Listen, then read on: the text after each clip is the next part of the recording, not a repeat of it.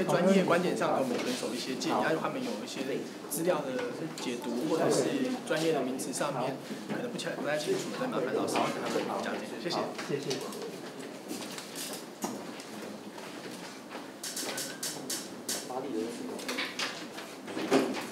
这个，你要配合这个讲，因为我希望天他多少单，我告诉你，而且而且这也不跟损命，所以。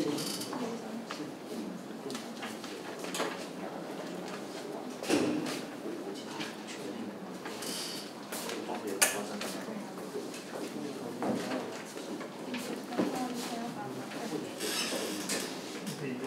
教育局的哪个科室？技职科。技职科。技职科也蛮忙的。对。你假日要很多活动。有有时候假日会有活动。可以比赛吗？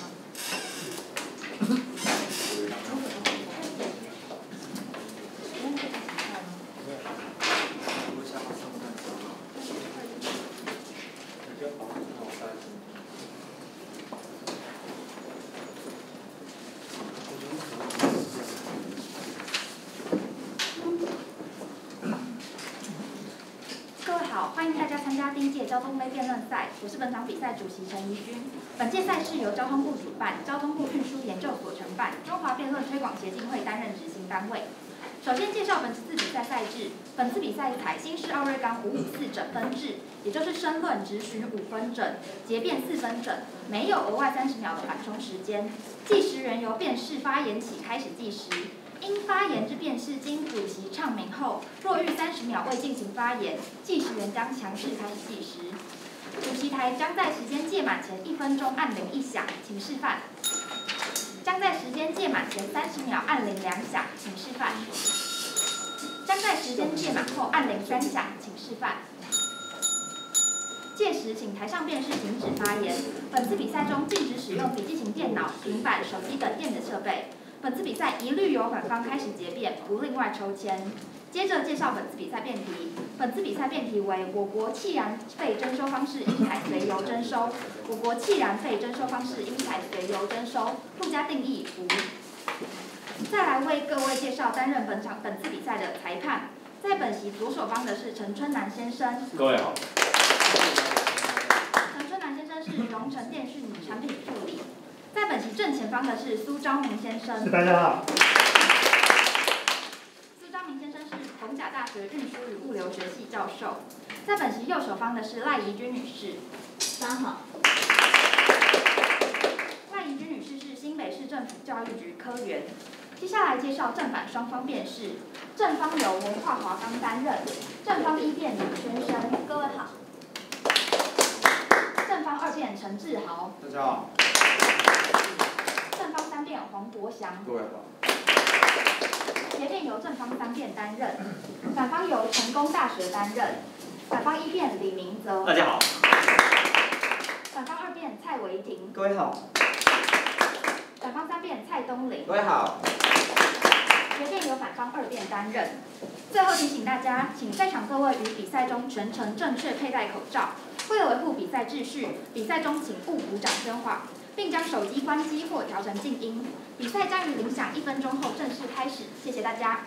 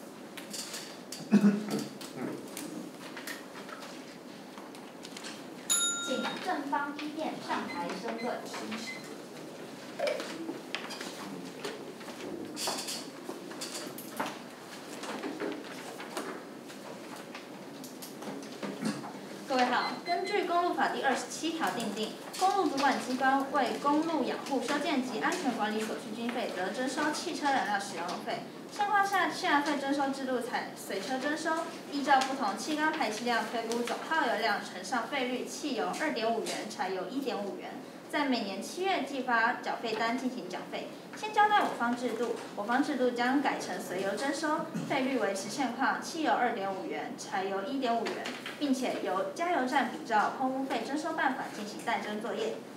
气燃费征收办法第四条里的六项免征对象，除了电动汽车，其余皆征收气燃费。为了避免地下油行的诱因被加深，地下油行的检举奖金在我方制度下将从七万调高至七十万。同时，渔业用油若是非法转卖给地下油行，现况下罚则仅仅停止购买渔业油用油补贴，我方将制度改为处以五十万罚款。接着继续论述为何在我方制度下能比现况随车征收更为有利。首先为使用者付费原则，现况下随车征收制度对于那些有车不开或是开车频率很少的人而言，多缴那些汽燃费是不公平的。反过来看，那些天天压马路却少缴气儿费的人，对我们而言也是不公平的。但这些问题在我方制度底下能得到解决，在我方随油征收之下，加多少油用多少路，想上路就得乖乖去加油，透过加油去达到使用者付费原则。进一步去反映道路使用状况，例如车辆在行驶时急刹或是急停，也会对道路造成损害。急刹急停这些驾驶行为，实际上也会增加耗油量。然而，这是在随车征收的制度下无法体现出来，在我方制度下才可以成功反映出来的。再进一步去说，除了里程之外，车重也是道路损害方面的原因之一。在现况下，随车征收虽考虑了气缸量。但气缸量和车重却没有必然关联，而在我方随油征收的制度下，交通部能源局的资料中提到，每增加一百公斤负重，约降低其能源效率一到五趴。换言之，车子越重就得缴越多的气燃费，所以在车重这一块，我方能做的比现况好。再来是行政成本部分，在现况随车征收中，由于作业数量庞大，从开征时税单寄送。重复应缴时的退税处理、免税审核、欠税罚款等工作，稽征成本可观，导致现况下公路法分配稽征成本为征收总额之两趴。但在我方随油征收底下，能有效降低稽征成本，免去掉纸本税收计送、欠费退税、重复缴费等等，在加油站加油时即可连同油价一同收取燃费。就资料就资料显示，可减少约莫十亿的成本。最后是鼓励大家汰旧换新，较车较老旧的车辆其燃油经济性较差，在我方改成随油征收制度之后，造成成本上升。为了降低气燃费额，将有可能促使车辆汰旧换新。据经济研究院资料表示，油价高低会使电动车在市场占比有显著的影响。所以，当我方透过随油征收的方式影响消费者行为，采用燃油性较佳之车辆，并且让车市场占比往电动车的方向靠拢，进而推广环保车辆。谢谢大家。请反方二辩上台质询。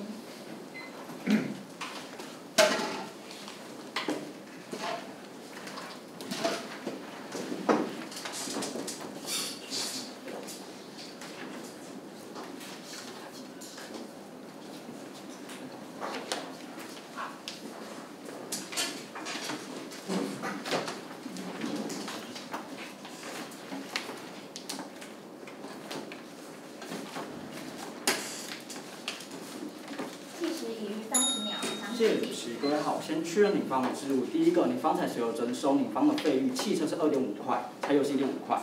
那在你制度底下，现况底下，呃的免征对象有七个，你方只打算保留电动车，所以包含像大众交通运输那一些的，呃免征你在你方制度底下会变掉课征。是的，那理由是什么？它有使用道路。嗯。OK，好，所以你方认为只要有使用道路，它其实就应该要去缴交它的。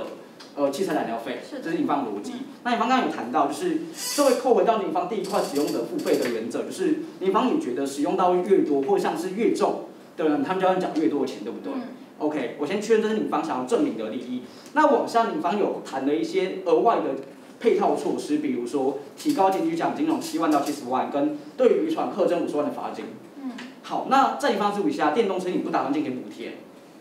对吧？对。呃呃，不打算进行不不打算进行特征。呃对。好，我们确认哦，如果你方所在乎的价值是，如果我有使用道路，我就应该要付费。那为什么对于电动车而言，它有使用使用道路，也有压，就是它也有开车上路，为什么它可以不用缴交钱？因为现况下政府还是希望去，呃去，呃让电动车这个产业去。就是你希望能够达成汰旧换新，所以使用者付费的原则可以进行退让。所以这表示使用者付费并不是一个不能被让渡的价值，而是要评估制度可能带来的外溢效果，对不对？就是假设你有额外的好处的话，我们可以不要追求使用者付费，呃对吧？因为你方觉得能够太旧换新，所以可以不要使用者付费。反过来问，如果在你方的制度底下可能会产生额外的弊害，比如说地下油行的出现，那是不是也可能因为这些理由就可以让使用者付费变得不再那么重要？可以被让渡，嗯，这一块可能要，对吧？因为我为了重要的利益，可以比可以让路我的使用者付费。那反过来，如果制度的实行也可能带来严重的弊害，是不是也不一定要追求使用者付费原则？那好，我先好，谢谢。我先跟你劝到这里。那往下，我们在探讨呃，在汽车燃料费的框架底下，是否需要去追求使用者付费？需要先界定汽车燃料费在法律上面性质，对不对？因为比如说租税。规费或是免税功课，他们可能在法律上面赋予它价值的追求不太一样。那我先确认，关于汽车燃料费的定的界定，高等行政法院的多数判决都认为它是一种特别功课，对吧？所以你方也认为它是一个特别功课。所以你方可以解释一下，为什么在特别功课框架底下，使用者付费是一个应该要被追求的原则吗？我先确认你方有没有打算正面举证，在。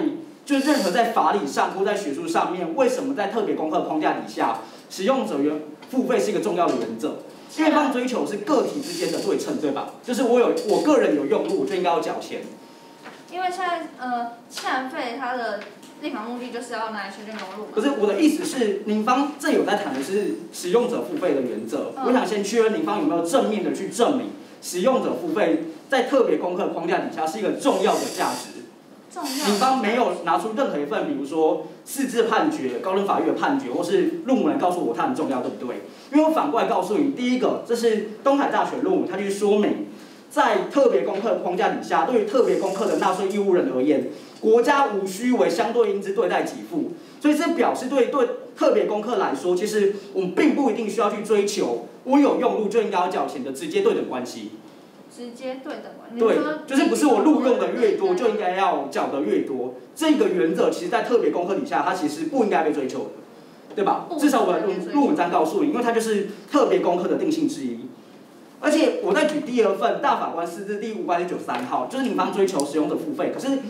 大法官司字第五百九十三号告诉你，就是呃，课征专用于公务养护的目的是汽车燃料使用费，而未给予所有使用公路之人。对，固然对于汽车所有人有差别待遇，但唯以汽车所有人为课征对象，并非自意的选择，符合国家基于达成公路养护等之立法目的与平等原则尚无抵触。这是说明了，就算我只针对汽车这个族群课征，而没有对所有使用用路的人进行课征，也没有违反平等原则，对吧？所以我先确认，至少我的大法官四字跟论文都告诉你了，你的使用者付费，就算没有很完整的被达成，也不会被认为是一个弊害，对不对？呃，应该说的是说，呃，在我方式底下，我们认为说应该要没关系一点。呃，没关系。那我的意思就是告诉你，第一个，他其实大法官认定他并没有不公平；第二个，论文告诉你他不应该被追求。所以为什么他很能是一个利益，是你方需要去进一步解释，对不对？好，我往下跟你讨论了，就是呃，您方您呃，在您方的世界底下，如果谁有征收的话，汽车的费用是不是上升？谢谢。请反方一辩上台申论。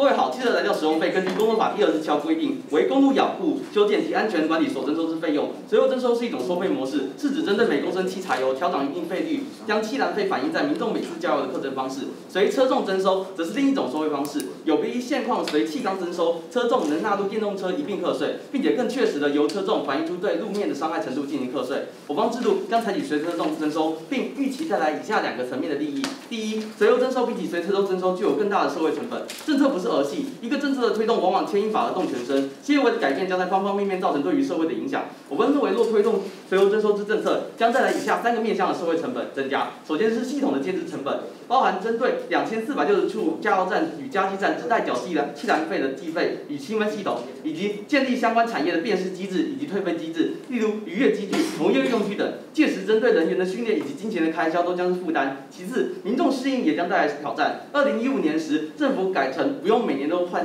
更换行照后，民众不再像以往一样和行照费一起缴纳气燃费。这样简单的改动，却造成全台因为缴纳气燃费而遭移送法院强制执行的机车，逼近两万两百万辆次。车主不仅得补交，并还得呃还需负担罚金。或许未来民众能慢慢建立新观念，但在短期内对人民造成的困扰，以及对财政带来的不稳定性，都切切实实造成伤害。最后，随着电动车市场占比逐渐上升，柴油征收势必不是长久之计。事实上，政府便规划二零三五年前将全面停售燃油车，短暂的风险也让政府财政蒙在阴影之中。反观我方制度，现况下车主姓名、身份证字号、车种类别、行驶规格等车体资料，经完整登记于公路监理资讯系统中，依车依照车辆行驶规格即可得知车重。收集方法也与现况一样，并不会新增成本。第二个层面，所有征收将带来地下油行的问题，造成中央及环保的伤害。民国五十年间，政府便曾将气燃费改采税油征收，每公升加征一点二元，但这随即造成渔业用油大量流入地下市场，气燃费收入在一年内大减三十五趴，因此仅实施一年，政府就火速改回随车征收。目光回到现代，五十年前的教训并没有让地下油行的问题得到解决。政府虽然在民国九十年建立石油管理法，加重罚款至新台币一百万至五百万元，并没入其石油制品及其所使用的加除油设施作为处罚。但贺阻的效果仍相当有限。新北市破获的七十多件地下油行案件中，明明都已依法没入加油器材，并开罚罚单一百万元罚款，但由于主事者几乎全部脱产，又没有罚则，不仅毫无贺阻效果，政府也收不到罚款。华视新闻编报道，因为设施成本很低，一旦查获，他们都可以马上再另立门户。新北三重一间地下油行，明明连续五次突击检查都破获其贩售假油，累计罚单超过千万元，但由于油行负责人脱产，一毛也钱也不用付，隔几日备好器材便能再度营业。又或是民国九十六年，政府加强制加装渔船航程记录器，以规避倒卖问题。但道高一尺，魔高一丈，油头马上找出新的办法。根据东森新闻指出，有不孝船长利用工具仿造海浪，在渔船停止的情况下增加航程数，骗取里程，取得补助的渔业用油。逐渐事后的管制上，警方的无力，在事前的稽查上，同同样面临结构性因素的挑战。卡优新闻网表示，现行稽查方式难以遏止地下油厂，理由便在于稽查地下油行的主管机关人力不足，也缺乏专业训练。种种的结构性因素也导致地下油行的情况屡见不鲜，地下油的来源便是五花，更是五花八门。柴油方面，透过与渔民勾结，利用补助赚取价差；汽油方面，则是进口溶剂油混充，自行参配，甚至到抽中油油品私下贩售。交通部相关研究指出，地下油品占呃柴油交易市场达七成，汽油也有一成左右，显见规模之庞大。台北县政府呃诚信稽查便指出，县府光是今年便光是当年便已经依法取缔了十多家地下油行，总共七十多件。二零一六年，高雄港警局也查获地下油行，储藏柴油多达一万六千公升，且内设储油槽两座及加油设备等。为大呃为大货车加油磨砺，该油行以每公升十六元买进渔船用柴油，再以十六点八元卖出，月营收八万。举轻以民众，光是零点八的价差就得以谋取暴利。对方柴石油征收，将使柴油上涨一点五元，汽油上涨二点五元，势必带给消费者更大的动机前往地下油行。渔船业者也势必将因为相应的退费机制而更加有利可图去经营地下油行。而地下油行的兴盛更会造成外延伤害。在污染层面，行政院研究报告指出，地下油品含硫量超出标准值十八倍，严重影响空气品质与民众身体健康。环保局指出，货车使用渔船用油，对都市的空气品质伤害相当严重。而在中央层面上，环保局更指出，石油为易燃气体，地下油行设备简陋，缺乏严密的消防及安全措施，违反相关法令。而而它通常会在都会区与住宅区任意营业，犹如不定时炸弹。实物上，彰化一间地下油行也曾发生爆炸，造成附近工人被弹飞十公尺后送医不治。做上手术，无论是从激增成本上可能会徒增成本，又或者是在实际上外延的伤害，或者是地下油的问题来看，我国都不应该，我国都我气燃费中方都不应该采取这种谢过。请正方三辩上台。质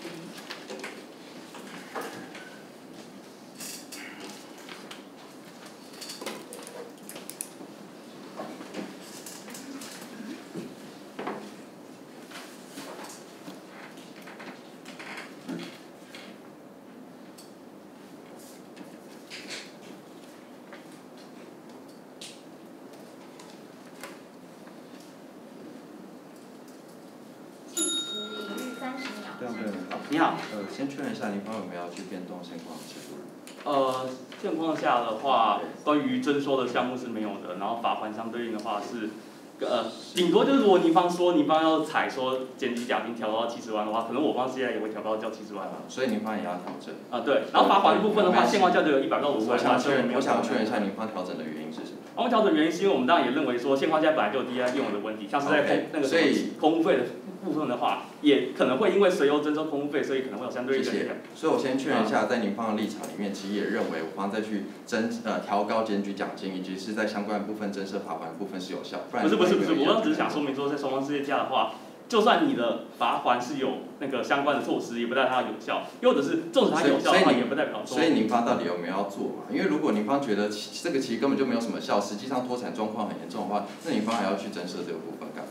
呃，因为我方在认认脱产部分的话，是说是他可能你先查过他的相关设备，没关系没关系，我往下去确认。呃，所以确认一下，至少在现况底下随车征收的制度上面，你方是没有是打没有打算要去做任何的调动。啊有有，我方调动就是有纳入现况下的车重，会因为你的不同车，就现况下我们是考量你的排气量 CC 那我那我可以知道一下，我们现况下怎么啊？我可以知道一下，在你采用随车重征收的情况底下，具体的状态是什么吗？就是您方是什么意思？您方要如何去进行加权？可以让我知道一下。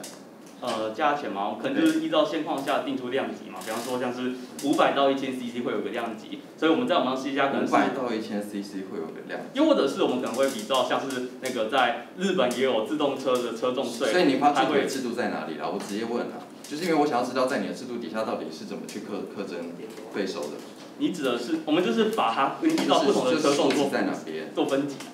怎么样？你所以没关系，所以说我觉得你在这个部分其实没有清楚解释你的想要去修正制度之后采用的制度内容是什么。那我现在确认一下，你具体而言想要去质疑我方两件事情。第一件事情是在我方的事业底下可能会有行政成本增加，这个部分是除了呃在建制成本啊，呃在建制成本增加，就是说你放现日常的一些娱乐用的会被指示。OK，然后再来是我方世界底下协会有地下油行的问题，对吧？啊，对对对，那我先确认一下哦，在行政成本增加的这件事情啊，就说你说我的建制成本之所以增加，是因为我必须要去跟两千四百个加油站这是其中一个，然后还有你跨部费之间的联系可能会有公文的成呃，本，具体而没关系，具体而言，跨部会的联系的成本体现在多少的状况？呃，我刚刚只是想说，就是你方也要一并考量到说，在建制一个新的系统底下的时候，有可能相对的成本。那我先没关系，我先确认一下，你有没有打算具体去证明我的世界底下制度建制成本到底有多少？呃，单就在我们变动成本的第一个呃建制成本上面，我方没法告诉你说具体的数目是多少。你没有打算要去具体证明？但至少我方可以先确认说，你方现况下有没有告诉我说你方的谢谢？那我先确认一下所以其实双方世界下不知道具体人谁的变动成本会变得更多，变得更少。OK，那我在行政成本部分先跟你确认一下，现况底下的空污费是不是也是透过加油站的一个方式，然后来去征收，容易征收空污费？换而言之，寄存的跟加油站的合作的这个区块里面，其实是现况底下寄存的制度，对吧？呃，其实不是啊，因为在联系上面有什么样的困难吗？因为就好是现况下，你车也有使用牌照，还有那个气燃费也要征收，他们是分开计单的，所以就算你对同一个同一个项目收集不同的税目的话，可能也会有额外的邮资或者通知成本。OK，所以是所以实际上其实不一定像你刚刚所谈一样，只要我们有收空污费，我们就可以一并收气燃费。所以我先确认一下，在整体制度运作上面来说，加油站其实是很熟悉的，只是在你认为说在计单的这个过程当中产生什么样的问题，或是到底增加了多少成本？应该说跟他联络的时候，相关的机制然后去呃另行规划，又或者是在相关的那个不个太出来，我所以，我先确认一下几个结论。第一个结论是你在终端上面，你没有打算去证明我建设成本。应该说没有，我们今跟其次加油站沟通的成本，其次是在你方还有关。于说像是什么没关系没关系遗传的退没关系费相关的机制。我再回头去讨论一下地下油行的部分。对对对请问一下，按照您方的立场，地下如果油行如果这么严重的情况底下，您方有没有要打算连同现况底下的空费一并去废除？我觉得分个案来讨论，就是不同的税目要做不同的因为现况底下空费也会针对渔业用油跟机呃农业用呃农业用我的部分去况这样子的，进行免征。空污费的话所以你没办法采用其他方式来课征，但是在至少在水那个气燃费的部分，我可以告诉你有其他不会影响到油品相关的方式可以课征，像水车重。但是空污费的话，如果你方认为空污费其实也有其他方式可以课征的话，能避免掉地下有听行不太懂，因为按照你按照你的说法，现况底下空费也可以像您方一样采用水水水车。不过我想解释意思就是说，随我可能都呃，其实就是如果照你应该说没关系啊，我是这样问题很简单，嗯。就是我方当然知道，呃，空费跟有空费相关问题，但是在气燃费双方至少可以证明，所以车重不会像你方变得更长。请正方二辩上台说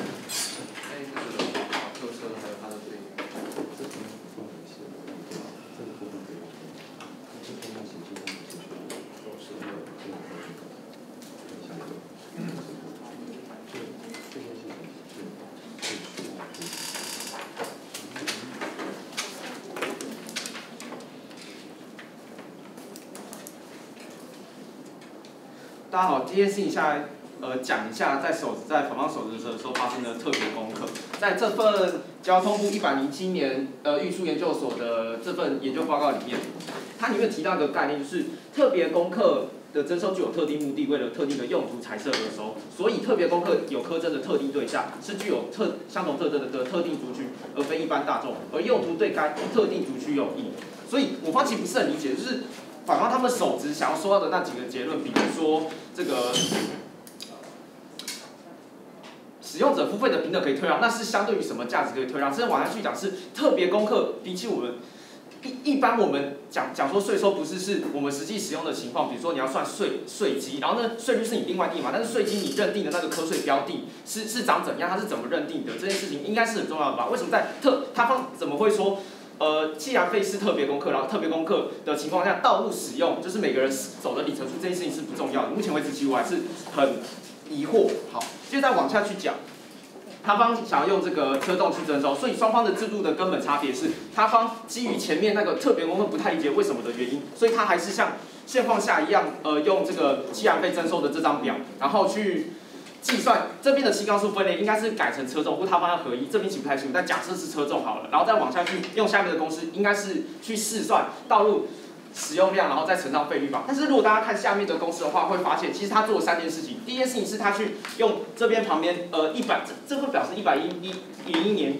呃出来的，所以他用这份表上上面是不是去细算每种不同分类的车别，然后还有它的气缸数的道路使用量，所以。道路使用量是一个，第二个是它这边其实还有耗油效率，所以耗油效率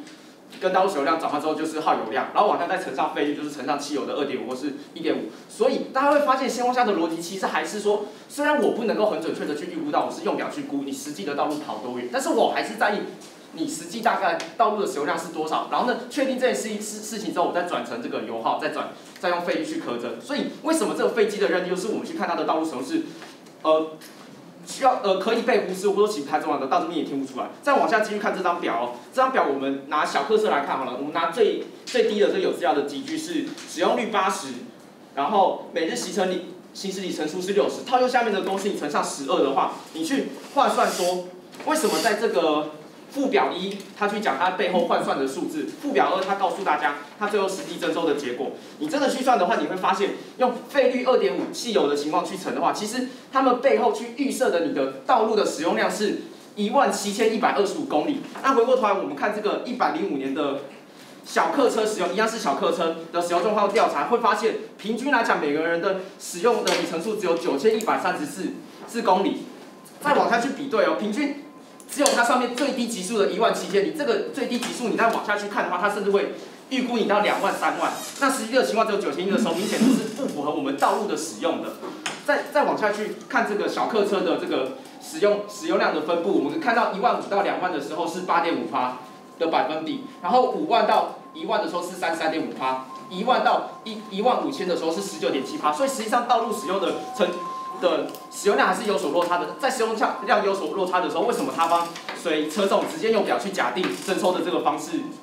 是是是可以接受的？就是有些人有很多人他们只是五千到一万，却跟一万五到五五千的这些道路使用量有如此差距的这些人，他们彼此收的气费都是一样的，这件事情很奇怪。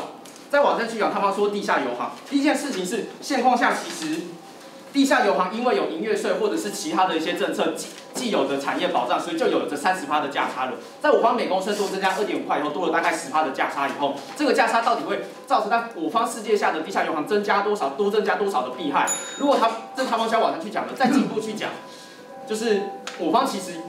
呃正方反方一样，就是有那个犯罪成本的增加，不管是监局的奖金或者是我们刑罚的增加，在一增一减之下，五方之下还会不会有地下游吗增加还是减少？你是他方要去证的。为什么证明这件事情很重要？要是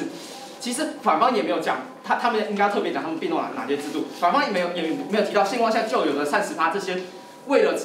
我呃。保障产业的的这些优惠有没有要拔除掉？这三八的价，它有没有拔除掉？如果没有要拔除掉的话，其实很奇怪的是，我知道有些地下游行他们会逃费，但是这个逃费的程度就像所得税逃税一样，有些不好的所得税制度，逃税是会逃到你根本收不到税，那税基数被侵蚀到不可接受的程度的。他方也要往下论证，那个我方世界下地下银行的情况会不会让我方被侵侵蚀到不可接受？要不然就第二种情况，就是其实我知道大家可能。这这是社会上还是有人会逃所得税，但如果你因为制度上面总是会有些人他们故意的去犯这些，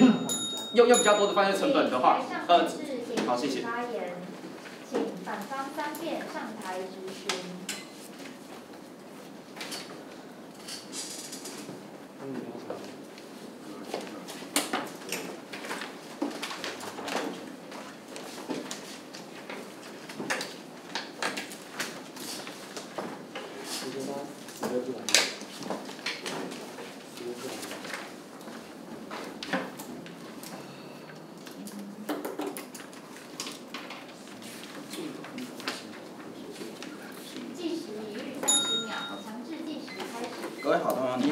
确认一下，就是你这个说，我先确认一下啊，就是你的这份资料里面写的这个特别功课里面，它有个体上面需要有对相关特定族群去做课程。呃，是的吧？好，其实我就很好奇。来，来，我我我往下，就是这个你可以借我一下嘛。这份资料我其实有看过，就是他在描绘就是特别功课跟其他的费用，就是比方说规费，特别功课它是要有共同报偿，而规费才是要有个别报偿。什么意思？意思是个别报偿是每个人用多少缴多少钱，特共同报偿是这个群体会因为道路的修建获益，我们就对这个群体课钱。所以处理到这个层次，在特别功课的概念里面，其实不需要处理到个有个别报偿，对吧？可反过来说，那我如果有个别报偿的弊害是什么？不是我我这边确认的话，哎我这边确认的是你的这一种个别报偿的处理方式可以规费，可以是规费的理解才能这样子做。共呃呃才才能这样子做个别报课费的话，虽然这是特别公费、特别功课的话，他追求的事情只要他有共同的报偿，这样子课征就可以了。我我确认到这边就好。那还需要检查就是他是不是特别功功课？其实你刚才也承认他是特别功课，而且我方也有举证，我方也有举证两，我方也有举证两份资料，无论大法官的师资还是高等行政院的判决，都说他是特别功课。如果你觉得是规费，你我后面主动用我。我往下问，我往下问，就是你倒过来，就是这个。呃，不公平，或者你说的个别报偿会有问题，你认为的问题是什么？认为问题就像我刚刚说的，就是你，呃你有没有法理上面的依据告诉我们，如果不这样做，对人民的财产权或者是平等权是有侵害的？还是倒过来，如同我方大法官师所说的，并没有对平等权有侵害？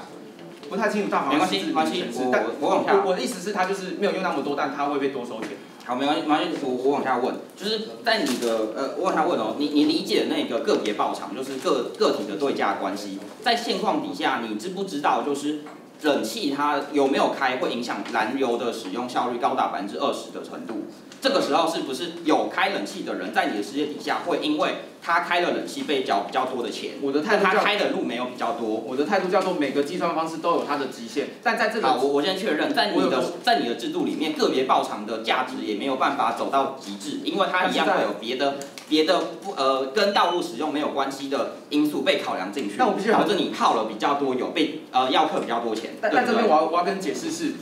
我们真的没有，我们现在目前是没有那个技术，知道说你实际在开的时候，你冷气太多凶，对吧？但是回过头来是在制度比较里面，我至少比你多算了里程数，我知道他走的路是长还是短，但你方没有。没关系，我先确认，在你自己想要追求的个别报偿这件事情里面，你也没办法追求到它有明确、为什么准确的个别报偿。我不觉得他。我往下，我往下问，往下问，你在成本的部分下降，你想要找到的结论是不是这个这笔基金，呃，这个特别功的这款这个专呃，气燃费的专款专用，它要足够拿来修建道路？嗯，没有。这个前提是应该是你你也希望追求的，才去谈你的成本有下降，对不对？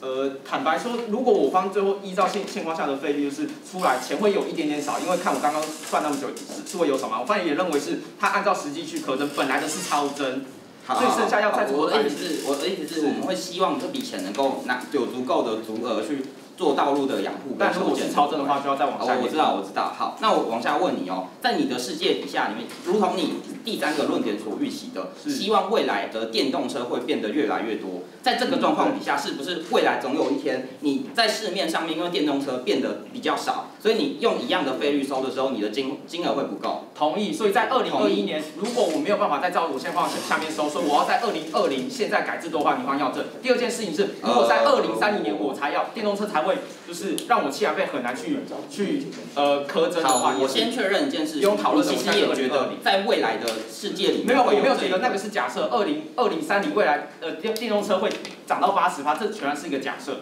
我只是说，因为现实二零三零，可能二零四零，可能二零五零，在未来总有一天会走到那个数字，对不对？因为现实限定的辩论原则，所以在二零三年的时候我 OK 们再来辩论你你。觉得那是那个时候要讨论的事情？好，那我往下问你哦如果你现在把制度改成你的制度，到未来是不是它会有再一个变动制度的成本，要再再变回来一次，或者是变回别的制度？对不对？但我不用，因为我的世界可以用这个制度走到很久以后的未来，它一样可以刻到电动车，我的评一样可以刻到那些现在燃油克不到的刻不到的人，对不对？我的评价有两个，第一个是目前看不出来为什么要要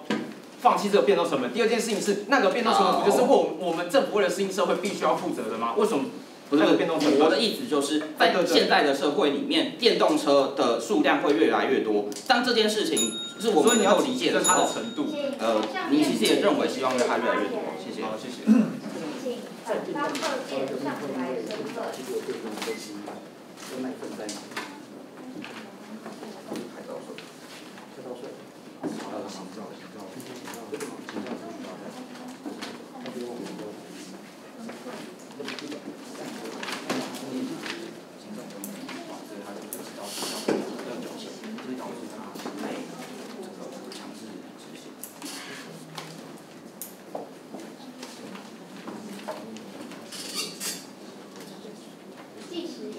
时已各位好，这场比赛是有两个重要的事情要被讨论。第一个就是正方所讨论的公平，它的实质上的内涵是什么？第二是对于关于在制度变动之后所带来的相关的附加影响，包含成本估算。我们今天先处理第二公平问题。首先，就算以对方的个别对场的公平来看，在他方打算去用燃油来反映道路使用上，我发现认为它不够精准。理由是因为，就如同我刚前面所谈到，你今天燃油使用包含跟你的汽车的使用量多寡有关，或者是我刚才可以举的资料告诉你，燃油的使用也跟车身的颜色有关，或者是你在车上，如果你因为塞车而被卡在路上怠速了，也会增加你的燃油使用效率。那表示什么？也是在塌方的制度底下，虽然多考虑了一些可能会有利于公平的因素，但反过来。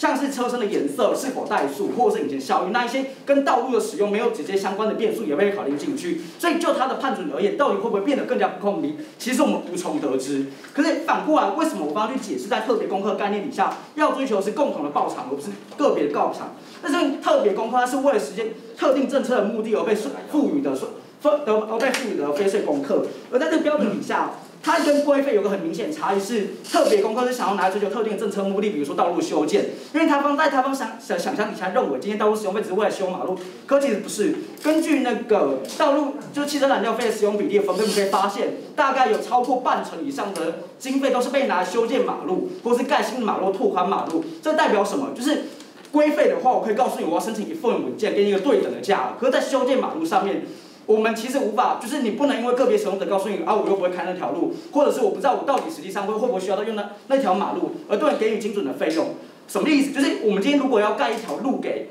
呃开车的人能够上路的话，其实在他实际使用之前，我们就必须要先把那条路盖出来，所以每一个拥有车子的人都能够预期能够得到相对应的效益。这是为什么在为了实现这样重大而且没有办法直接对场的公共政策的时候，我们认为应该要追求是共同的共同的对价性，而不是个别的对价性。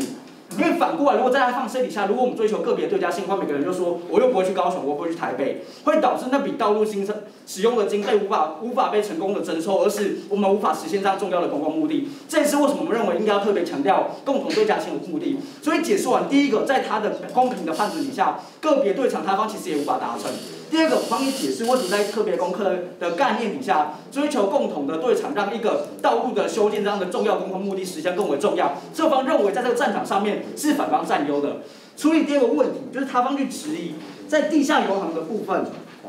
在地下油行部分，反方事业底下怎么去评价？比如说空费可能造成地下油行，或是任何的。税要更造地下油行。我帮必须要讲，任何一个政策实践吧，就是在理想跟实务中找寻一个平衡点。所以关于其他空费考量方，那我当然需要纳入其他因素做比较，比如说有没有其他可能达成相同政策目的但更好的选择。所以华章比赛，我们应该讨论的性是，在他方的世界底下，如果可能造成地下油行，可是在我方世界底下有一个可可以不用。可以不用造成地下油行，但又可以更好的追求到共同对场公平性的手段的时候，我们就认为在这个当下，我们就应该要选择反方的制度。这在逻辑上面的解释，进一步往下谈，为什么在他方式底下出现地下油行状况？第一个，他方认为就是在他制度底下出现检举，可以通过检举奖金的使用或提高罚则的方式来去规避掉地下油行出现。可是所以第一个问题，在前阶段其实我帮您证明了，你。就算提高检举奖金也没有用。为什么？因为地下油行就算被抓到，他们已经早就准备好要脱产了。所以就算你。去查其他，第一个是他的油行转到其他地方盖，他的修建成本很低，我大不了再换个地方经营就好。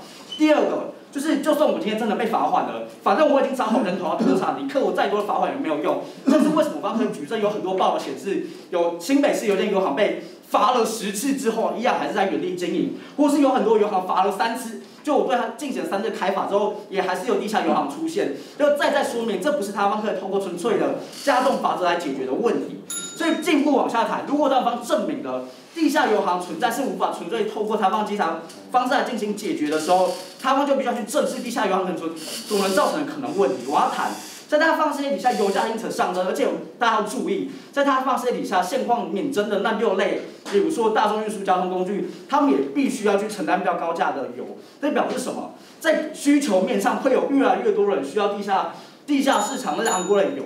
所以表示我方可以证明，在地下油厂上面，你的规模会扩大。这个时候，回到第一个重要判决，是地下油行可能造成问题是什么？第一个，我方证明地下油行的存在，如果它扩大的话，它可能造成城市之内，比如说潜在的爆炸的风险。像实证上面，二零一六年彰化救人因此被炸死，或者在环保上面，你使用了地下地下油行的油，它们含有比较高。的含油量对环保会造成比较不好的影响，所以在开放世界底下，如果你让地下油行因此而扩大，造成的不是人民公共上面的危险，又或者是环保问题，我方认为都是更加不划算的。谢谢各位。请正方一辩上台质询。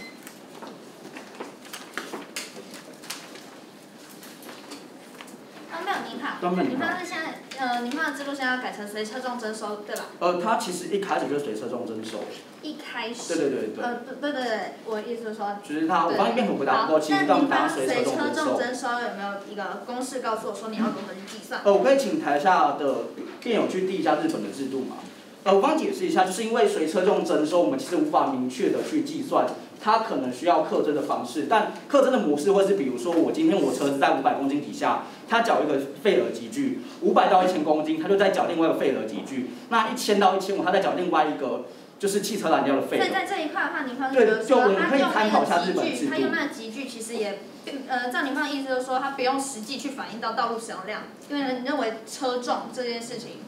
去排个集聚，在这个车重里面缴这个钱，这样就好了，对吧？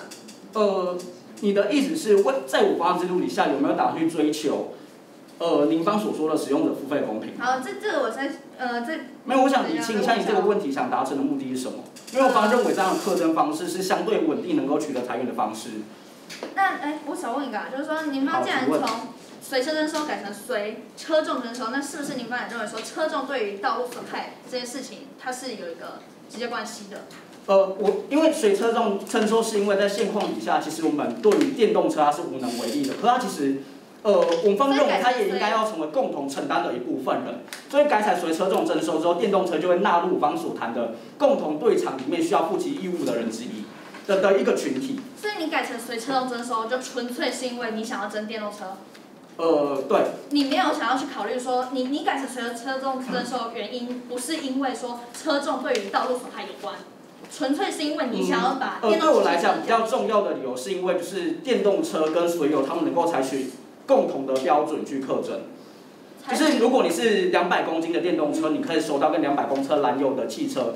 呃，机车一样的税额。你想要去收到他们，他说就是去收到相同的税额，你难道不是讲让他们，因为他们有用路，所以你想要去争电动汽车，对吧？呃呃，道路的道道路的维护当然是，我我我解释一下双方的差异，就是道路的维护确实是我们想要达成目的，可是我们方想追求不是个体之间的直接对价，而是我们希望把电动车纳入需要共同承担的那一个群体里面。共同纳入那个群体里面。对，因为其实，在特别功课里面追求是共同的对呃呃共，同我先确。认一件事情啦，我刚刚前面一直问就是，你你改成随车征收，然后收了电动汽车，你希望电动汽车跟着现在的燃料车那一些一起付到一起付气燃费是？其实也有希望能够公平一点，使用者付费原则在呃，里，面也是呃，那那个公平一点是我们不是那个公平一点，重点我们强调的事情是，它应该被划约进那个群体。跨越就是我们不是想追求个体之间有一个很一致的公平，可是就是他如果有使用道路的话，他也是道路的直接受益人。OK，那既然这样的话，你因为我们刚刚想要让呃，你刚刚前面提说，你想要用那个集聚去收钱，是想要让机车成本低一点吗？是吗？呃，不是，我应该没有特别谈到它跟集增成本这个关系。你就是我在处理我在处理不然的话机增成本上面会用集聚呢？那是因为它是对现况的民众来讲扰动最小的一个政策，劳就在现在就是希望不要那我用你的么麻烦去收，对吧？对，就是我们希望建商对于人民的负你刚刚担的提到影响。说，您刚刚提到说，呃，气燃费这一块是特别功，呃，算特别功课，所以您刚刚认为说这是一个共同报偿，大家都要去缴这份钱，不然的话，如果用成个别报偿的话，每个人他去推脱说，啊，那条路我没走过，那这样我不要缴那一条路的钱，您刚刚这意思吗？呃，对，而且二来是你在道路的养护上面，其实你本来就无法预期它的具体的使用量，因为你的公路还没有实际被修建出来。好，那所以我们的预期他们是一个可能的受益人。那既然如此的话，您方为什么再不不再更干脆一点，所有的客车、所有货车、所有的机车都缴相同的一个定值？你这样子的话，每一台车都平均有收到钱啦、然后同时的，你还不用去分他们到底花，他们到底实际上花了多少？因为你方刚刚一直跟我说，您方认为使用者付费这一块，您方觉得不重，您方觉得没有那么重要，您方想要就是这个群体里面大家都付到钱。对，所以重点是你拿来跟什么样的价值做交换，对不对？什么意思？就是我方我认为在我方的制度底下，它是一个比较好的平衡点。就是我理性的态度，它不是完全不重要，可是重点是你拿跟什么做做交换。所以在我方制度底下，你能够维持共同对场，而在这共同对场里面，你能够维持好个体的对场，这是我方的态度。嗯，你你像我刚刚说的嘛，因为你政策本来就是在不同的价值之间找到一个相对好的平衡你不要想那么省事的话，干脆用缴相同的定值啊，呃，缴上相同的定值，你还不用特别看每个人要收多少。没关系，待会上面解释清楚一点点。请正方三辩上台申论。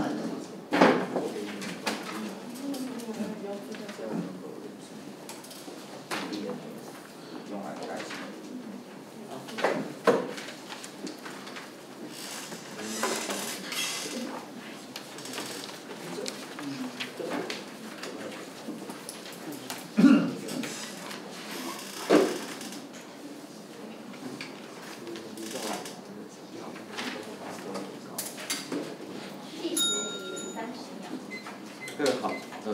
刚刚讲了一些很专业的术语啊，但其实讲简单一点，在对方的示意底下或者现况修正制度底下跟现况底下，其实多多少少也在意使用者付费这样价值。不然现况底下他也不用因为着就不同的气缸量而去评估说它的耗油程度，因此去课征不一样的费率。也同时对方再去因应随车征随车重征收的情况底下，其实说白了也是为了要去体现对于道路的维护跟呃对于道路破坏跟维护，所以具体而言所做出来在个体个体上面的一个差异。所以回到这里，使用的价值能否让客在收费上面变得更精准，这件事情应该是双方共同承认的一个价值。其二是在我方视野底下，确实可以在这个部分做得更好。对方说，呃，在机车后油部分可能会因为人气的强弱或是颜色的落差，所以导致于可能会有一些差别。可是至少先确认一下，是在颜同样的颜色、同样的条件、同样的这个使用状况的情况底下，在我方的世界底下会因应的你使用的油耗量的落差、使用的道路的多寡，而具有做出差别性的差别，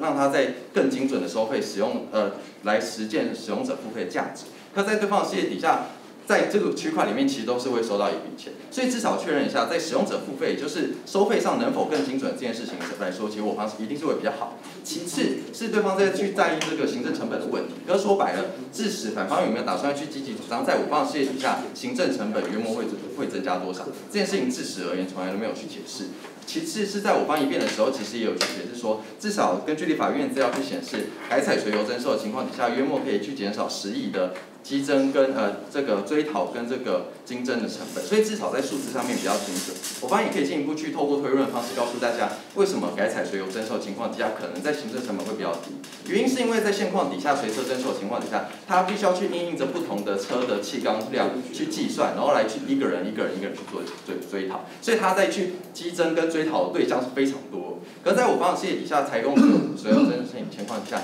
它的方式其实叫做先征后退，也就是说在征收部分其实基本上没有太多的困难，在他去去这个加油的那一刻起，其实就已经领呃去激增到这个部分，剩下只是在部分的个体上面，比如说像是今天它可能是渔业用油，可能是农业用油的这个区块里面，因着现况底下的这个许可证，其实可能要做一个退费。可是至少在人数的区块上面来说，我方也认为我方在行政成本上面需要去负担的人力，其实多多少会有落差。其实最后回到就是，所以在这个区块里面，至少在这个使用者付费部分以及是行政成本部分，我认为其实在采用随油征收情况底下都可以做得更好。而且对最后对方唯一再去讲事情之后说，在水油征收的情况底下，可能会导致呃太多的这个这个电动车以及是这个油电混合车或者相关省省车的。这个省呃省油车的部分，如果它比越来越宽的情况底下，可能会导致在这个裁员上面整体的流失。可是其一是对方有没有打算要去积极积极证明这个区块的，就是产生的，因为因为我觉得分几个区块来讲。其一是我方当然承认，如果今天在电动车或是油电混合车发展到一个阶段的情况底下，它当然可能要去另外台调整调整，比如说变回对方必有现况底下的制度，或者是可能要改采水利成征收。可是其一是这一个变动中间的那个行政成本的转换到底是多少？因为如果他没有具体去证证明这个变动成本的这个行政转换情况底下，对我来说其实就是嘴两句而已，说白了。而且其次是我方认为，其实，在政策的态度上面跟立场上面来说，本来因应的不同时代、不同时期要去追求的政策目标，它自然而然就必须要去对应、去调整，说它的政策目标制的、它政策制度的拟拟定的一些机制跟细节是什么。所以说白了，就算我确确同意，在未来可能会产生有裁员上面缺口，但这件事情如果我今天去追求。呃，电动车去追求这个油电混合车这件事情是一个很重要的利益的话，对我来说，我觉得在政府决策角度完全可以接受。而这件事情为什么重要？原因是因为分几个区块来谈。第一个区块是现况底下，其实政府在推动电动车跟油电混合车部分，其实会让人有一点疑虑。我为什么这么说？原因是因为在这个原本这个。前行政院长赖清德原本有排定说，在二零三五年的时候，必须要去全面禁售燃油车机车。可是这样的一个目标，其实后来被这个经济部部长沈荣金打脸，就说其实这个部分要砍砍卡，因为他不打算在这个部分推动更多，呃，不打算积极去推动这个部分的政策这这个产业。可是这个产业其实很重要，为什么？原因是因为在现在，包含是说在巴黎协定签订的情况底下。多数的整个国际的产业趋势，其实尽可能的期望相关的节能跟绿电的产业是能够去呃能够去这个尽可能的发展。包括是我方有在资料去讲说，其实全球总共有至少已经有一兆的美元投入在相关的投资上面，而能够去追求这个产业发展是台湾重要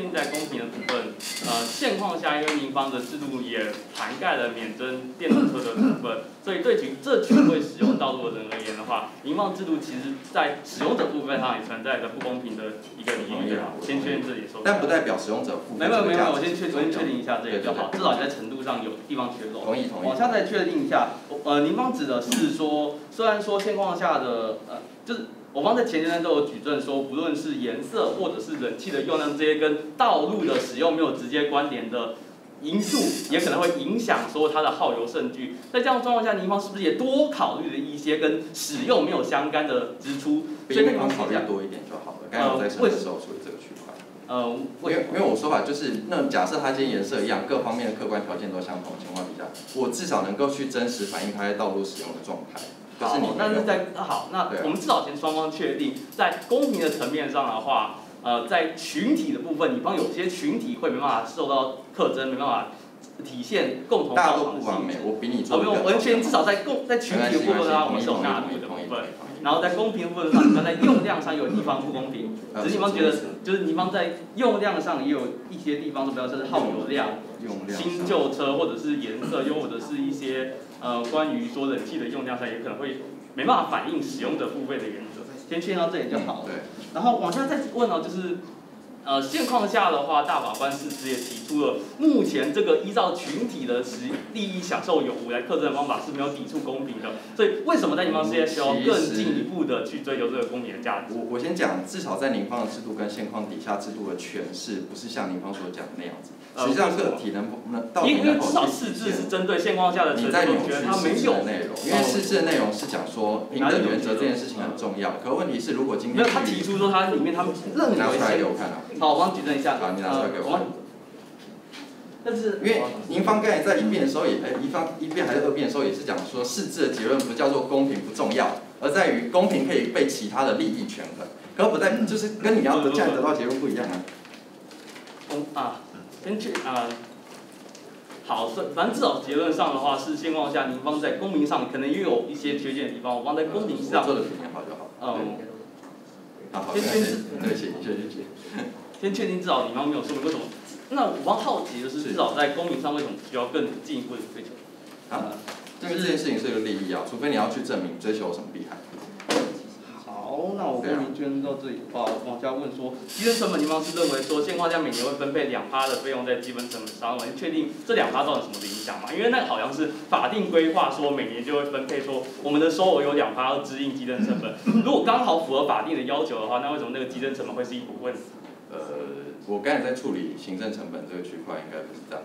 我的说法应该是，因为你似乎打算积极证明，在我事业底下会有很多行政成本。啊不不，我想先确认一个比较前端，在前面没有注意到，就是你们认为说现况下会有两趴的基金成本，大概十亿元的支出吗？对，然后。然后这个十亿元支出地方是依循现况下公路法规经费分配的合理应用，那为什么它是一个问题？是因为它需要花那么多钱，所以它在法定上面去定说。不对不对，那是法定上在一开始规划经费分配的时候就有涵盖在里面。就是因为他知道他这种征收方式，每个人挨家挨户的去记单子去。那至少这样的话会造成什么样的额外负担？会有道路上维修的困难吗？又或者是有什么其他的问题，所以使得您方有减少它的必要性吗？所以我先确认啊，你也不否认在我。不过我当时先确认这个，就是你方有证明说它有减少的必要性吗？我觉得两两个部分啊，其一是如果我们今天在计生成本能够越来越少的情况底下，换而言之，代表我们资源使用效率越来越高，也就代表是其实我们对于人民的财产权的损不不必要的损耗其实是会减少。如果你要我在这个部分去说明利益的话，我那我往下想问一件事情，就是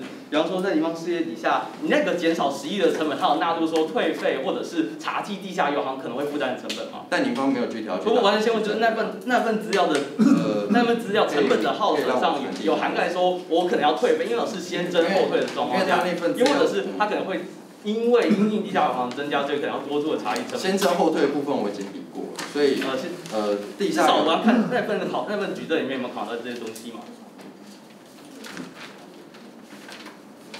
好，然后往下再看的话，我们前阶段有，我们前阶段有一份呃举证是谈说是那个现况下的话，那个。比方说，在过去我们可能会依循着航照换发的时候，顺便课征气燃费，然后突然制度更动了，民众会因此而有不习惯，然后这不习惯对民众也是一种成本。那情况之下，你把它可认了，未来都是电动车持续成长之后，我们可能要面临一次自动更换，我觉得都是情况就要多稳定的管理。我觉得都值不值得。反方三辩上台申论。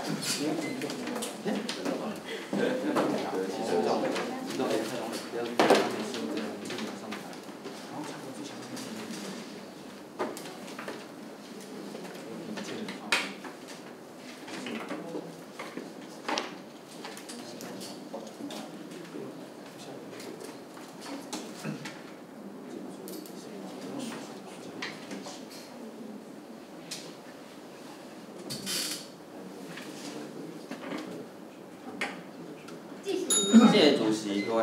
先处理在公平的这个大框架底下，它其实有个别告场，还有共同报场的概念。先谈对方的个别报场有没有变得更精准。我方的说法叫做，在你的世界里面用燃油来算，因为燃油它也会算进其他的跟道路使用没有关系的资讯，所以你有一个多的资讯进入到你的燃油计算里面，让它变得比较不个不个别报偿。我方固然知道你也有一些多的资讯，是你说的道路使用量，或者是你说的它的你说的道路使用量是跟道路使用有关系的，但在你的制度底下，其实是多了一个。跟道路使用有关的资讯，也多了一个跟道路无关的资讯。我方听不出来为什么在你的世界底下，它比较能够反映个别报偿。我我来谈第二件事情，是共同报偿部分。在他方的世界底下，因为他没有电争这个电动车，所以在我的世界底下，我电动车还有这个呃电动车还有这个汽呃一般的机汽机车，它都要缴纳这一笔钱来作为一个共同报偿的群体。所以分成个别报偿和共同报偿来理解的话，个别报偿我觉得对方其实没有比较个别报偿，但共同报偿部分我比较共同报偿。所以在公平的这一个大框架底下，其实是反方占优的，因为我至少能够满足在共同报偿里面对公平的想象。处理完公平的部分，回来谈对方谈的这个，回来谈另外一件事情，是这场比赛反方比较重要的东西，在地下油行会不会变得比较多？他方有两个攻防，第一个攻防是他方说，你调高了这些，呃，你调高了这些费用，呃，或者是这个稽查的罚款之后，他就可以这个有效的解决问题。但其实，如同我方二辩所说的，现况底下本来你就有已经已经抓的，呃，你就已经会对他进行罚款，而且罚很多次。但问题就是他会拖拖长，所以你没有办法抓到他的财产，把他的财产让他吐出来。所以你就算调高再高的检举奖金，或者调高再高的罚款，我方觉得都没有用。所以回来谈，所所以第二个攻防是他第第第二个攻防，他方说空费也会造成部分的地下油行的兴起，或者是补贴的问题。但我方觉得这本来就是个别制度跟政策的考虑里面。要要去考量它的利益跟弊害，所以至少我方能够证明，在我的世界底下，比对方少了这一个，他要增加了一点五块和二点五块的诱因。往下举证，其实我方可以告诉大家，光是呃两块钱的这个价差，就可以让他的投资报酬率提高到百分之四点，呃，地下油行的投资报酬率变成百分之四点九七。在往上加这这这这笔钱的时候，它就会让这个它要转入地下油行的诱因变变得往上提高。所以当地下油行的这件事情的证明成功的时候，会回应过来，对应到对方所证明的成本的问题跟环保的问题。什么意思？意思是成本的问题，它其实没有考量到我们要追查地下油行的这个成本。当然，他方确实有。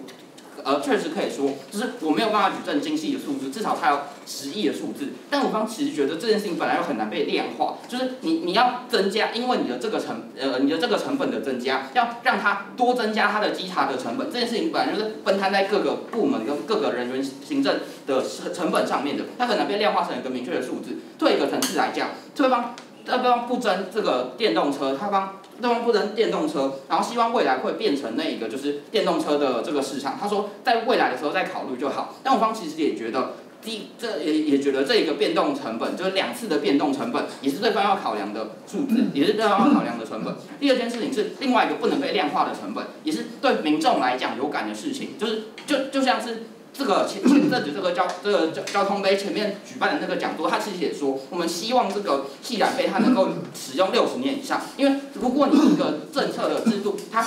在短呃短短几十年内大量的变更，或者一直变更不同的缴费方式，对民众来讲是一个困扰。就像是前阵子，就是二零一五年的时候，行照它从本来行照要每年换发，变成不用每年换发的时候，就导致民众不知道他要缴费，变成让他被罚款。这个也是对民众来讲的一种困扰跟成本，所以你要把成本这些这种不能被量化的成本也要纳入考量进去。所以处理到这边，我刚不觉得它有明确的数字就等于它的成本比较低，因为其他不能被量化的成本是他方没有考量到的。所以到成本这一个部分，方也觉得处理掉。回来谈最后一件事情，对方最后想说的环保的问题。但环保的问题，如同我方前面所说的，你地下油行的量增加的时候，因为它含流量含流量。是一般的油的十六倍，它会对环境造成重大的伤害。我方不觉得在你的世界底下会对环保这件事情有更好的注意，因为你的电动车增加了，地下油行的车也增加了，环保对总体来讲也是避害变多。最后一件事情是我方最在意的事情，就是那一个地下油行，它是一个没有公安意识的场域，它没有符合消防的法规，所以它在地，所以它在。就都市里面都会去四处的乱盖，这个时候它超级容易爆炸。这也是为什么我方可以举证，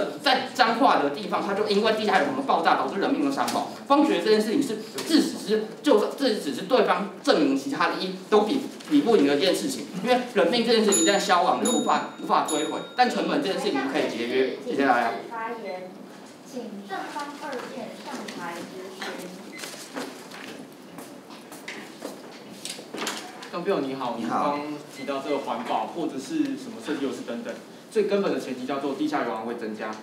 呃，所以我就从地下油地下油好啊行来问。对，嗯，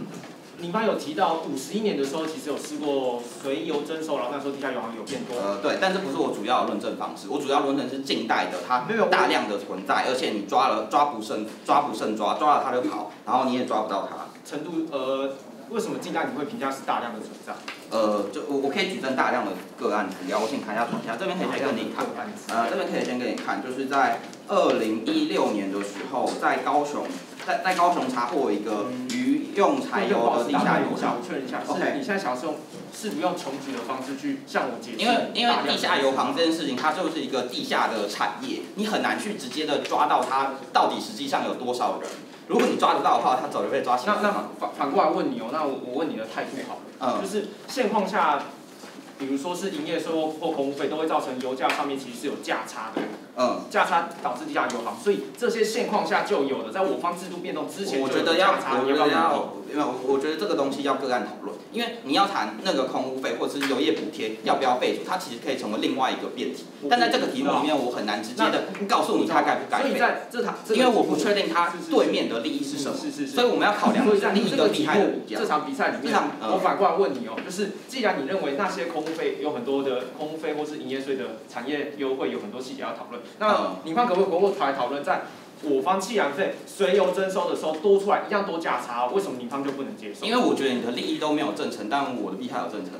这样这样够够好理解吗？嗯，因为你谈的公平，就是我说了个别报偿没有比较公平，共同报偿我赢了。那你谈的成本，你要考量我说的那些其他的 多的无法被量化的成本，我觉得跟十亿元可能不一定比得出来，因为民众的困扰不是十亿可以可以可以比过来哎，的。我这边缺个东西，所以嗯我是无利，然后有弊。对对对对对对对。那你方正成的弊害，这可以再帮我调理一下吗？呃，我我正常的弊害，开头呃开头。开头呃，共同报偿是一个，然后地下油行的增加是一个。那往下地下油行的增加会带来两个弊害，第一个是公安危机，第二个是环保上面它会造成更多的伤害，让环保的这个品质变得更差。民众长期吸含硫的排放物，也会造成他的肺部被被伤害。嗯，嗯，那我还是确认，就是你后面两个实体弊害的就是地下油行。对对对对，但就我我地下油行有正成。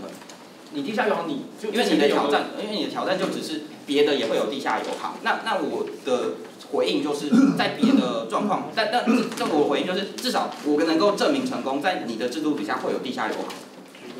我会有多少？没有，我我我先问个态度吧，就是我我觉得多少这件事情，你要求我一个地下化的产业，你你要求我去量化一个评价两个例子好好，就我正二最后这个时间不够没说完的。第二个例子是我们收所得税，但因为一些制度上面，比如说税率过高，所以有很多人逃漏税，这是不是一个不好的所得税的收的方式？呃，我觉得可能可以细致的调。单看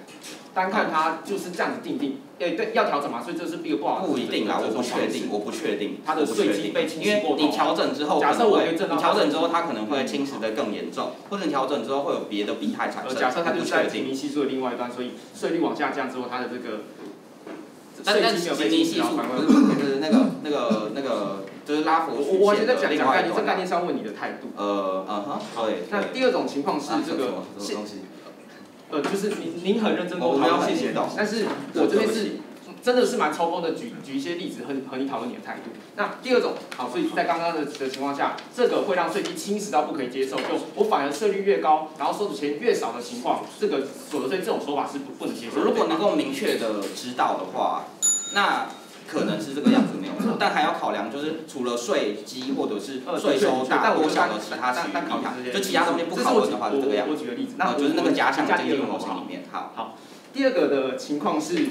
我今天虽然他他会有一些人逃漏税，就真的是有用一些避税的说法，或是甚至他有认识一些官员，但在这个情况下，其实我是收得到一定程度的所得税的。这个时候的态度到底是在第二个情况之下，有人会逃漏税，那我直接所得税都不收了，还但是其实我跟我举证的东西不一样，因为我举证的是那个逃漏的状况会有外延的弊害，就是无论是环保上面的问题，就是你单纯的逃，然后这外延的不会有外弊害延的弊害。很大的时候，你也没有要回过头去处理前面的价差嘛？啊，就是空污费会造成你你你不要。把工房混在一起，嗯就是别别的东西里面有价差，这件事情是那个东西的利益跟弊害要纳进来讨论，但我不确定那个东西的利益现在是啥，所以我没办法跟你做损益，但我可以确认你的利益是不存在的，所以我有办法跟你做损益。好谢谢下辩士停止发言。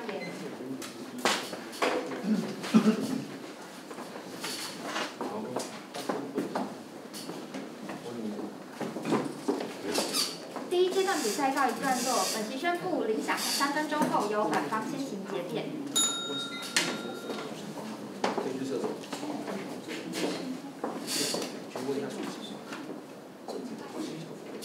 等一下，等一下。老师要不要先给我们一些指导？还是要让呃，那边指导一下。那那就好，那我们这样子嘛，好，老师你要第二个还是最后一个？都可以，都可以。这样过去。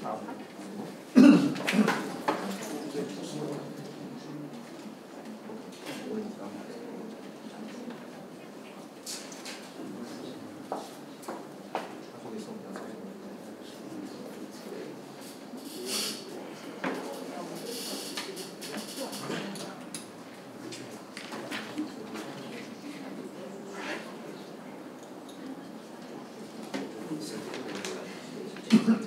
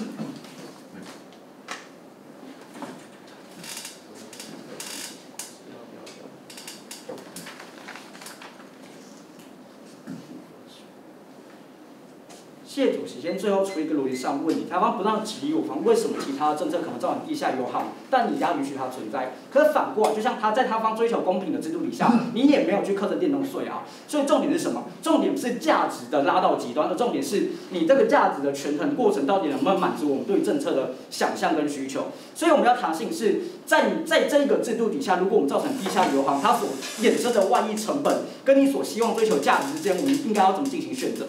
一个合理的讨论态度。我们今天往下谈第一件事情是公平的方式，他方证明公平叫做我方提出一些因素，比如说颜色。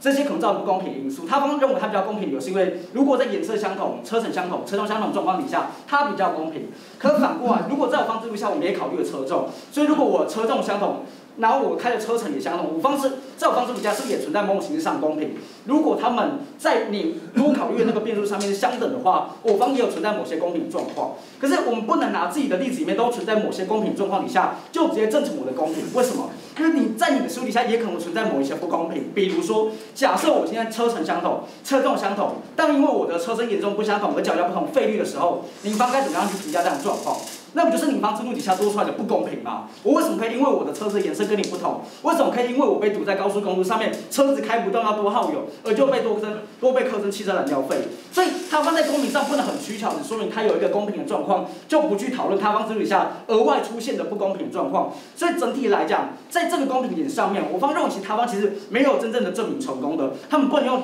只看他好的方式，而不看他考量到不必要的的地方，就是说明他他是比较好的，这第一个部分。但是我们现在谈，可在我方制度底下做到比较好的是什么？是我们认为电动车它是你有使用道路的特殊的利益关系族群之一，所以你应该被纳入共同报偿的原则里面，为了你可你可预期的道路使用的利益而负责。而在台湾底下，他方态度是不行。他方课证理由是什么？是他们觉得电动车它应该要被追求，是我们希望能够鼓励电动车产业。可我们在思考每一个战政策背后本来就有他想要追求的目的，什么意思？在这个政策，汽车燃料费它主要目的是什么？是我们希望能够达成对公路的养护。可是对电动车，电动车的鼓励，政府态度可是什么？是比如说像是去年的给狗狗肉换车的补助。或者是有其他的做法可以去达成相同政策目的，这要谈事情是什么？不是他们讲价值不重要，可是是发生当两个目的互相冲突的时候，我们必须回头来思考，到底这个目的，这个这个制度背后所真正要追求是什么？重点是你的道路养护跟你需要对应起相对应的责任，所以他方不能把不同的制度所要追求效果混为一谈。他方为了追求电动车的电动车的产业的兴起而放弃了对道路养护里面重要的共同对场原则。我方认为反本末倒置的做法，因为如果今天政府真的用它很重要的话，其实它它的做法应该是，比如说你在使用电动车上面，我给你一些你买电动车上面的补助来去达成这样相同政治效果。所以在这里比较，我方认为其实我们的态度更加贴近对汽车燃料费本来要追求的道路养护以及共同对偿的责任，而不能拿其他一些政府可以通过其他手段来达成目的来否定它的效果。这在这个层次上比较，有时候我们更贴近我们对这个政策原本的想象。好，处理完这个层次之后，我们要最后处理一件事情，就是关于成本的部分。台方在考量成本的时候，只考量到节省成本，可是我方认为不行，为什么？那是因为在前面我们确定已经正成的地下油行出现，而在高雄、在在新北、在桃园或者在彰化，其实都有出现汽车油行，那出出现汽车油行被发现，有方已经成功证明了，你不论你汽车油行它有更高含油量，或是汽油行可能爆炸，所能带来的社会成本。所以他们思考一件事情是，他方所担心的激增成本的部分，他方所讲是，我可能政府他收到钱会没那么多，可以拿相对换的代价是什么？是你让有一个城镇的区，让一个城镇的居民他们出生活在一个高度的风险之下，什么意思？就是如果我家附近有地下油行，当有一天它爆炸了，这样的成本我们能够承担吗？真的发生各种气爆的时候，我们炸了一次之后，我们就进行大幅度的政策修改。为什么？因为钱可以再赚。可如果在发生爆炸，你炸毁一个区域，或是你当你人民受到减损的时候，那是一个不可逆的伤害。我方认为这才更重要的价值。谢谢。正方上台结辩。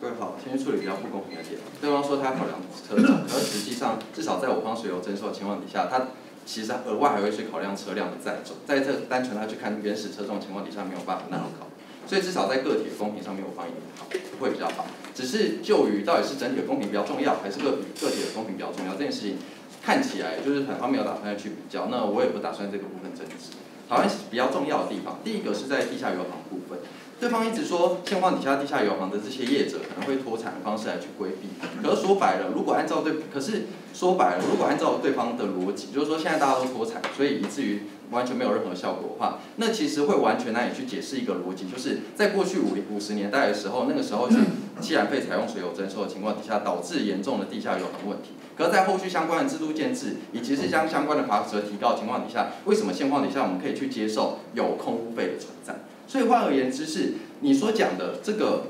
你所讲的那个地下油行事情，我当然知道脱产可能是一个双方事业对底下都没有办法去解决问题，但至少在我部分，我提高了检举的诱因，可以去至少可以去避免现况底下激增人力不足的部分，这个部分是我确实可以去解决的部分。所以总体而言，地下油行到底有多严重这件事情，你不能单单只是说就纯粹的一个推论，或者说完全没有效果，就直接去说在我视野底下一定会更严重。而且在你方的世界底下，说白了就是在空费区块里面，如果你方真的觉得那个地下油行所掩饰外溢的弊害是那么严重的情况底下，为什么你没有打算要去把现况底下空费废掉？是因为大家都知道，因为地下油行危险，它可能会炸死，它可能会有一些相相关的对于车上面损耗，所以在整体的制度运作当中，大家其实也尽可能会去规避说不要去使用地下油行部分。我不太觉得你在讲那个弊害是一个完全没有办法去被完全没有办法被解决跟被调整的问题。而再回到分两个层次来看，回到我方的理由，对方一直去谈行政成本，可我觉得他其实没有真的打算认真去证明行政成本到底有多少，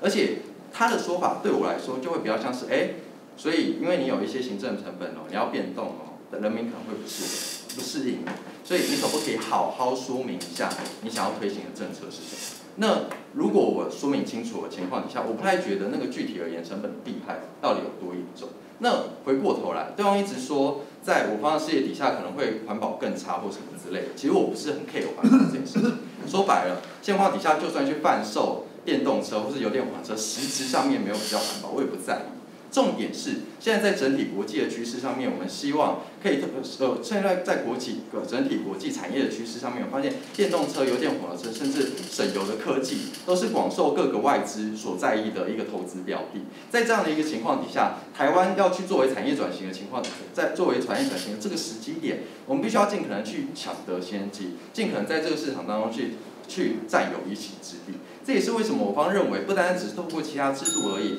透过气燃费的方式，其实也可以去连带产生这样的一个效果，所以这也是为什么在我方的制度，而这件事情很重要的原因，就是因为它攸关到台湾是否能在未来就是整体更趋向于是电动车跟油电混合车的产业情况底下，我们不单单是我们不单是在国内可以去有很高的占比，其次是在外销部分能否有很很漂亮表现，这也说明了为什么政府不管是在 GoGo 部分有去做相关的补助，或者是现在。这个红海或者是这个呃红海跟这个这个玉龙都去开始投注在油电混合的部分，都是我们希望可以看到越来越多人可以去投注这个产业，来去帮助台湾整体经济运作更好的部分。那对方唯一在说的事情就只有分两个，就是说人民可能会不适应，可是我觉得任何制度它本身在运作过程当中多多少少都会有适应的问题，所以我这个时候。只会希望告诉大家，现况底下 这样的一个问题，这样的一个产业的发展是很重要。我知道大家可能会很不习惯，但大家可以忍一忍。谢谢。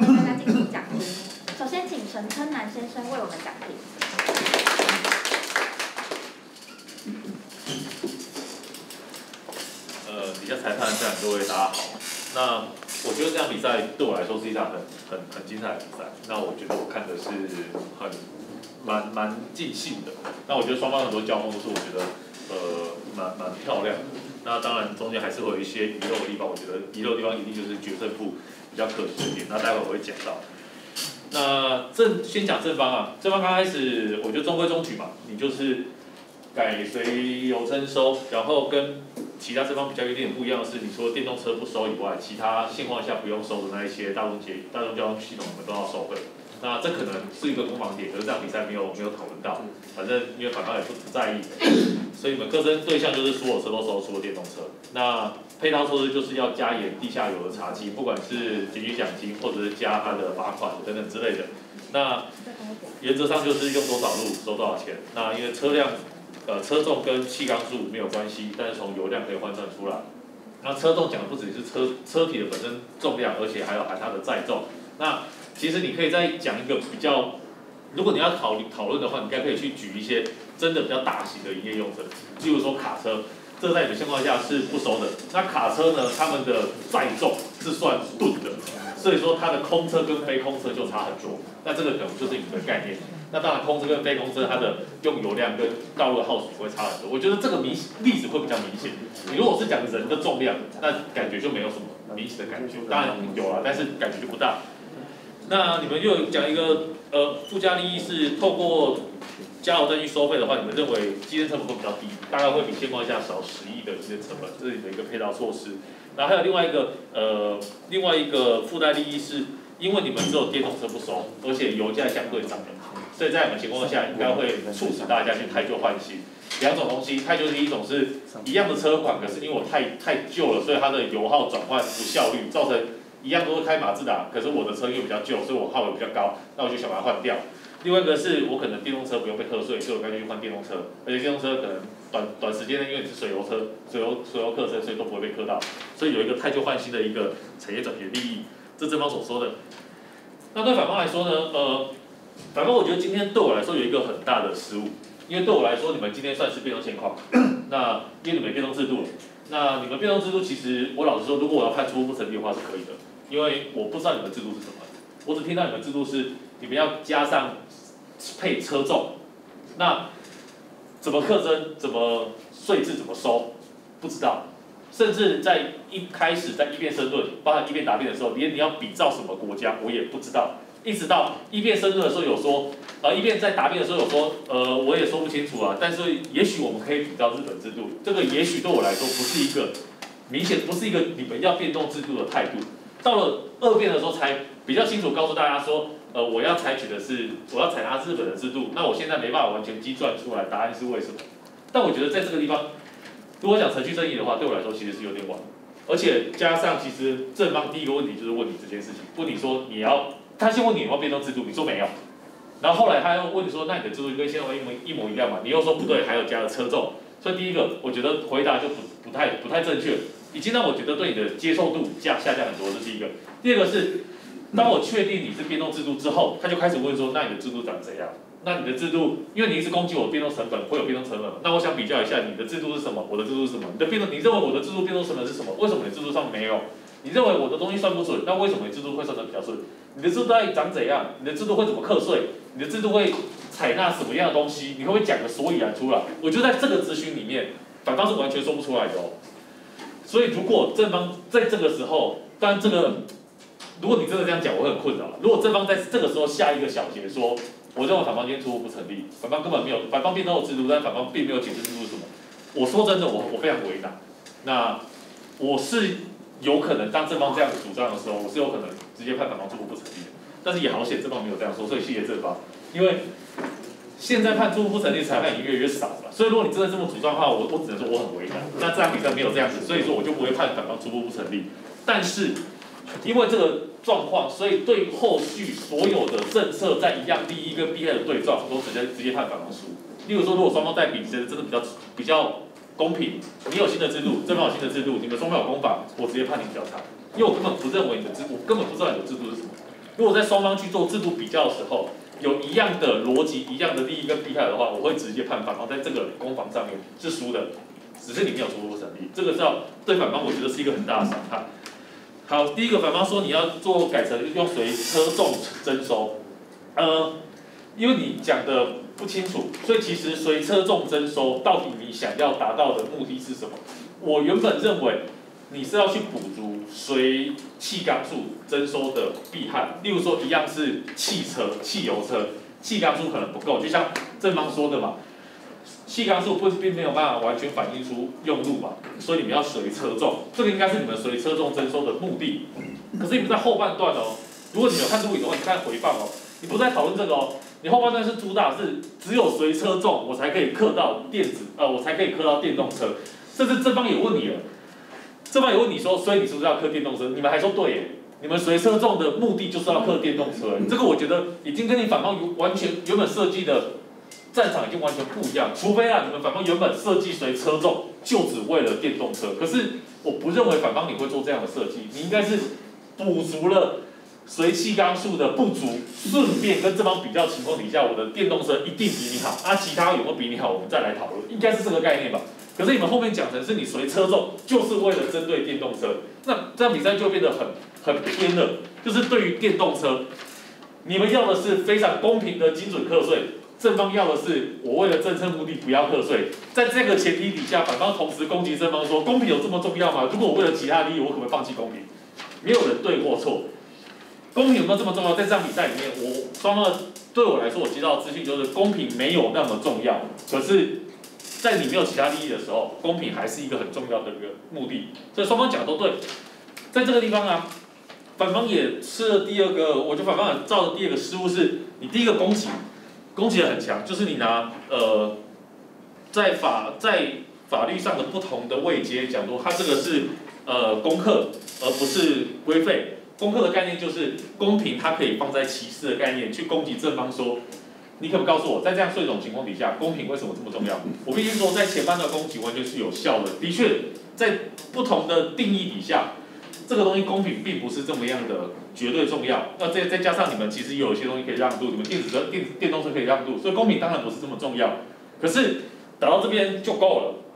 在这个地方你不断要去问正方说，那你可以告诉我，你为什么要更公平？你为什么要更公平？你为什么更公平？打到这个地方我觉得就太过了，因为假设你去问正方为什么这么公更公平的时候，更公平带来的单就更公平这件事情有没有弊害？你们讲的都是单就更公平，后面它可能会有其他的弊案，例如说我要更公平，我要付更多成本，但这个叫更公平？带来的弊案。可是如果不付成本，单纯更公平，是不是一件不好的事情？你们也没有说是一件不好的事情，这是第一个。第二是，呃，我觉得正方也问了一个很重要的问题是，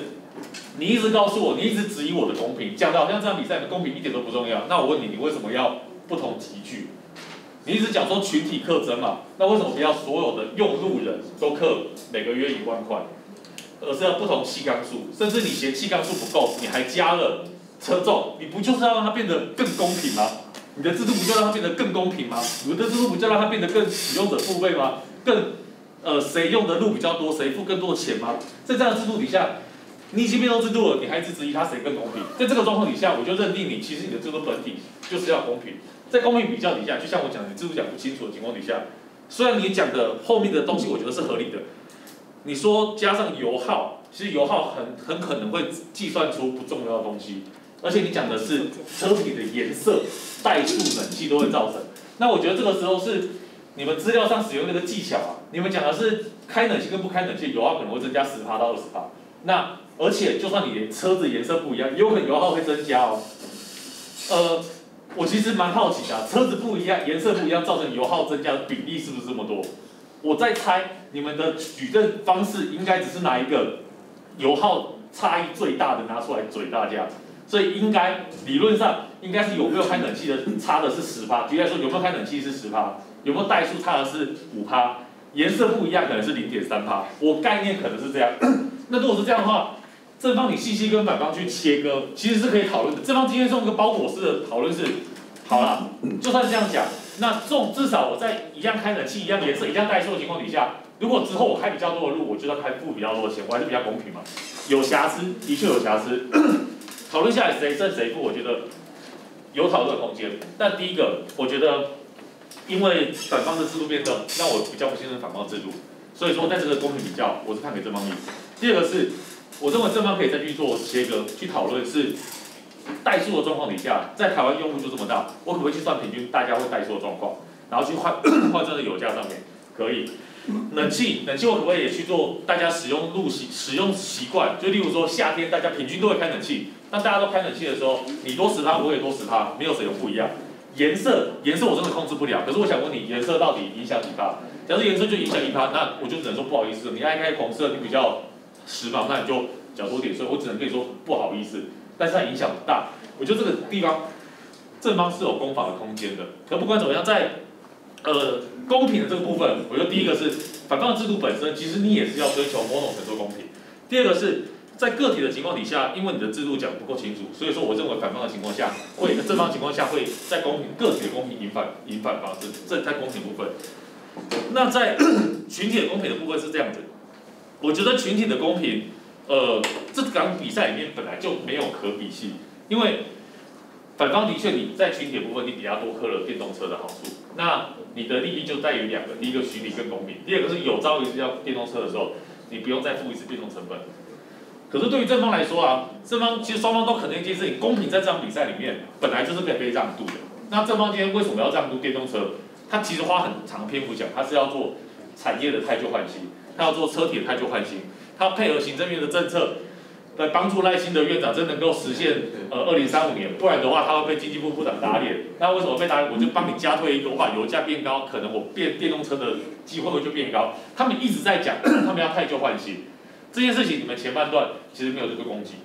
后半段只有在结辩的时候你有讲太旧换新应该要用别的标的来去课税。可是能不能说不能用他这个标的来做奖励措施？其实，在租税的情况下。本来就有很多因为奖励的措施，所以我不让你去课一些税，所以这个地方只能当做是一个你的指引。当你只是丢出指引，而且没有在前半段边打的情况底下，我认为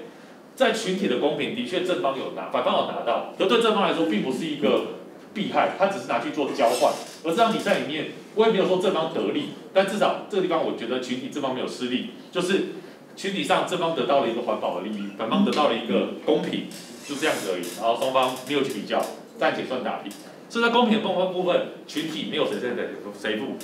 在个体的部分，正方是赢的，这是公平的部分。那再来第二个比较，建制成本，建制成本我觉得也是反方今天，嗯，我觉得反方建制成本打的不够有诚意啊，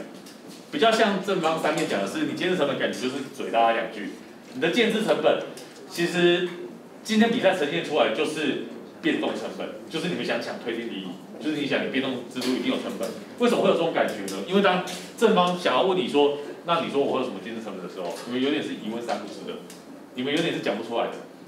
你们说法院开也要成本啊，那加油站建制也要成本啊，可是他们就讲说现况下不是有设空屋费了吗？空屋费加油站就已经收成本了啊。你们最后被他逼到是说，那好了，就算你一样，那我寄送的方式标的要不一样，我要先寄一封空屋费出去。再寄一封这个气燃费出去，先就不讨论为什么他一定要寄两封了啦，那就只是寄两封的行政成本，我不认为这个东西对造成很大的行政的伤害，而且这个东西怎么样是换算？你至少要跟我说，啊，邮戳一张一块钱，一百万个用路人，你每半年收一次，你每半年就要付一百万出去，至少要做这样的计算，你才可以有理有据吧？不然的话，真的在反正方一个一个去问你的情况底下。就很像是你只是要把变动成本这四个字合理化而已，而且再包含的是，反正方一开始就丢了一个十亿在这边。我告诉你，我的基建成本比以前就是少十亿，丢在这边你让你花，只要在十亿以下的，我觉我都觉得，我当然我也知道我有我有建设成本嘛，只要我的建设成本在十亿以下，我都不会比你狂，不不会比你亏啊。那这样在这样情况底下，你到底拿什么跟他比较？我觉得这里。是没有的，所以建设成本我不认为正方的情况下建设成本是比较高的。是最后这场比赛里面，我觉得最关键是，我觉得前面都输了没关系，反方是可以透过这个翻盘，而且套这个理由我其实犹豫很久，就是地下油行部分。地下油行，反方一直攻击，反方拿很多地下油行的东西来攻击正方。你的概念很简单，就是讲地下油行你是抓不完的。你这场比赛里面，我觉得反方是呈现成功的。地下油行，我认为是抓不完的。可是抓不完，它到底造成什么样的现象？正方做攻击啊，不好意思，我口罩弄的，不能呼吸。正方今天攻击的是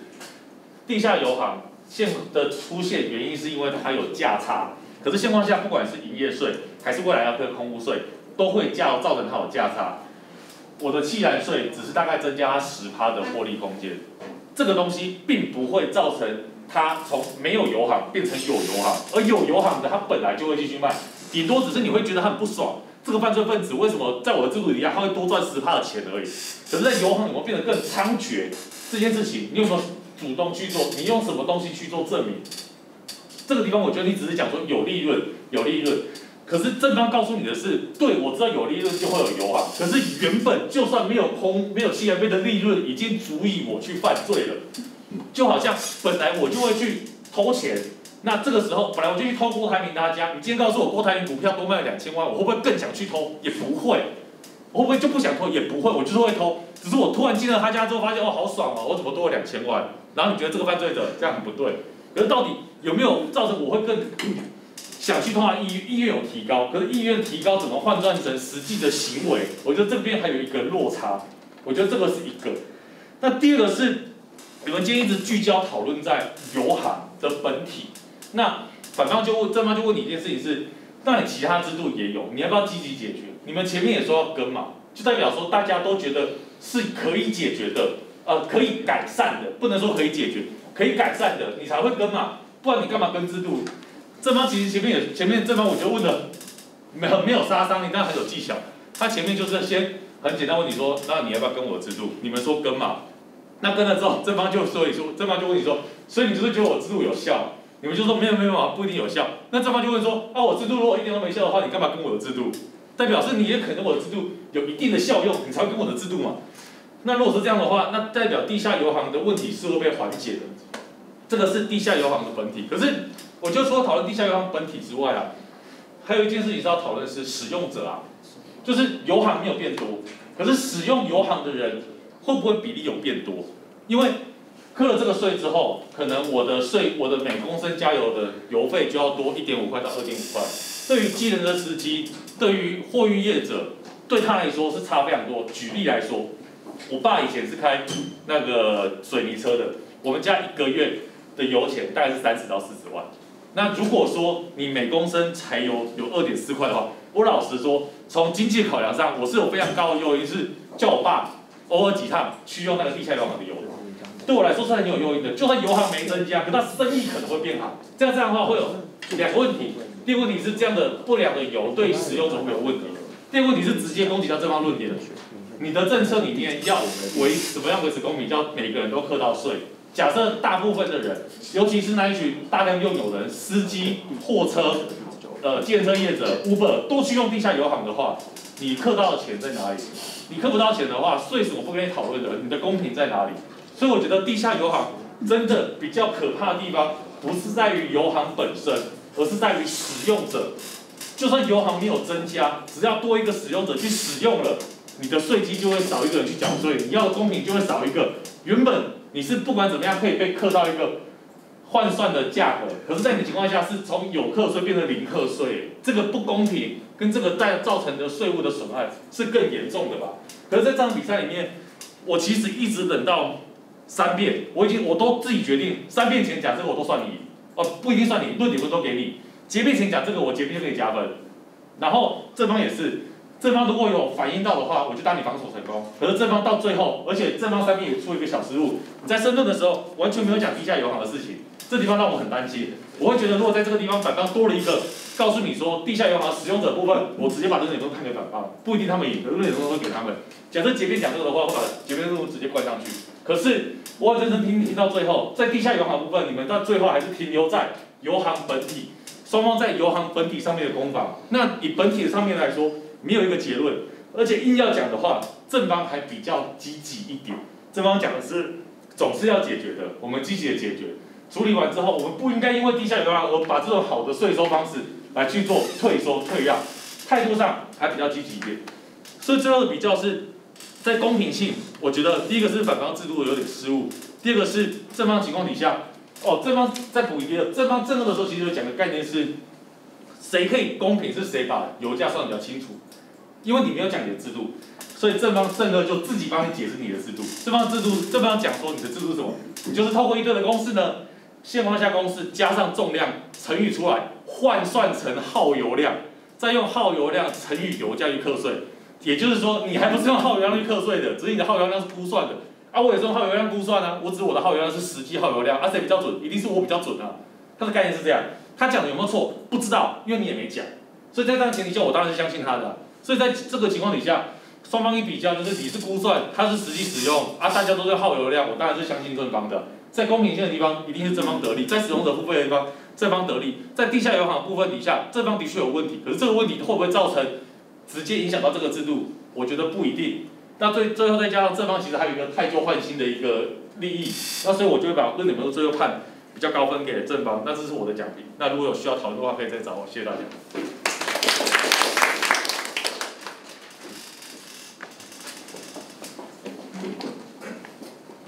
谢谢陈春南先生的奖评。接下来我们请苏昭明先生为我们讲评。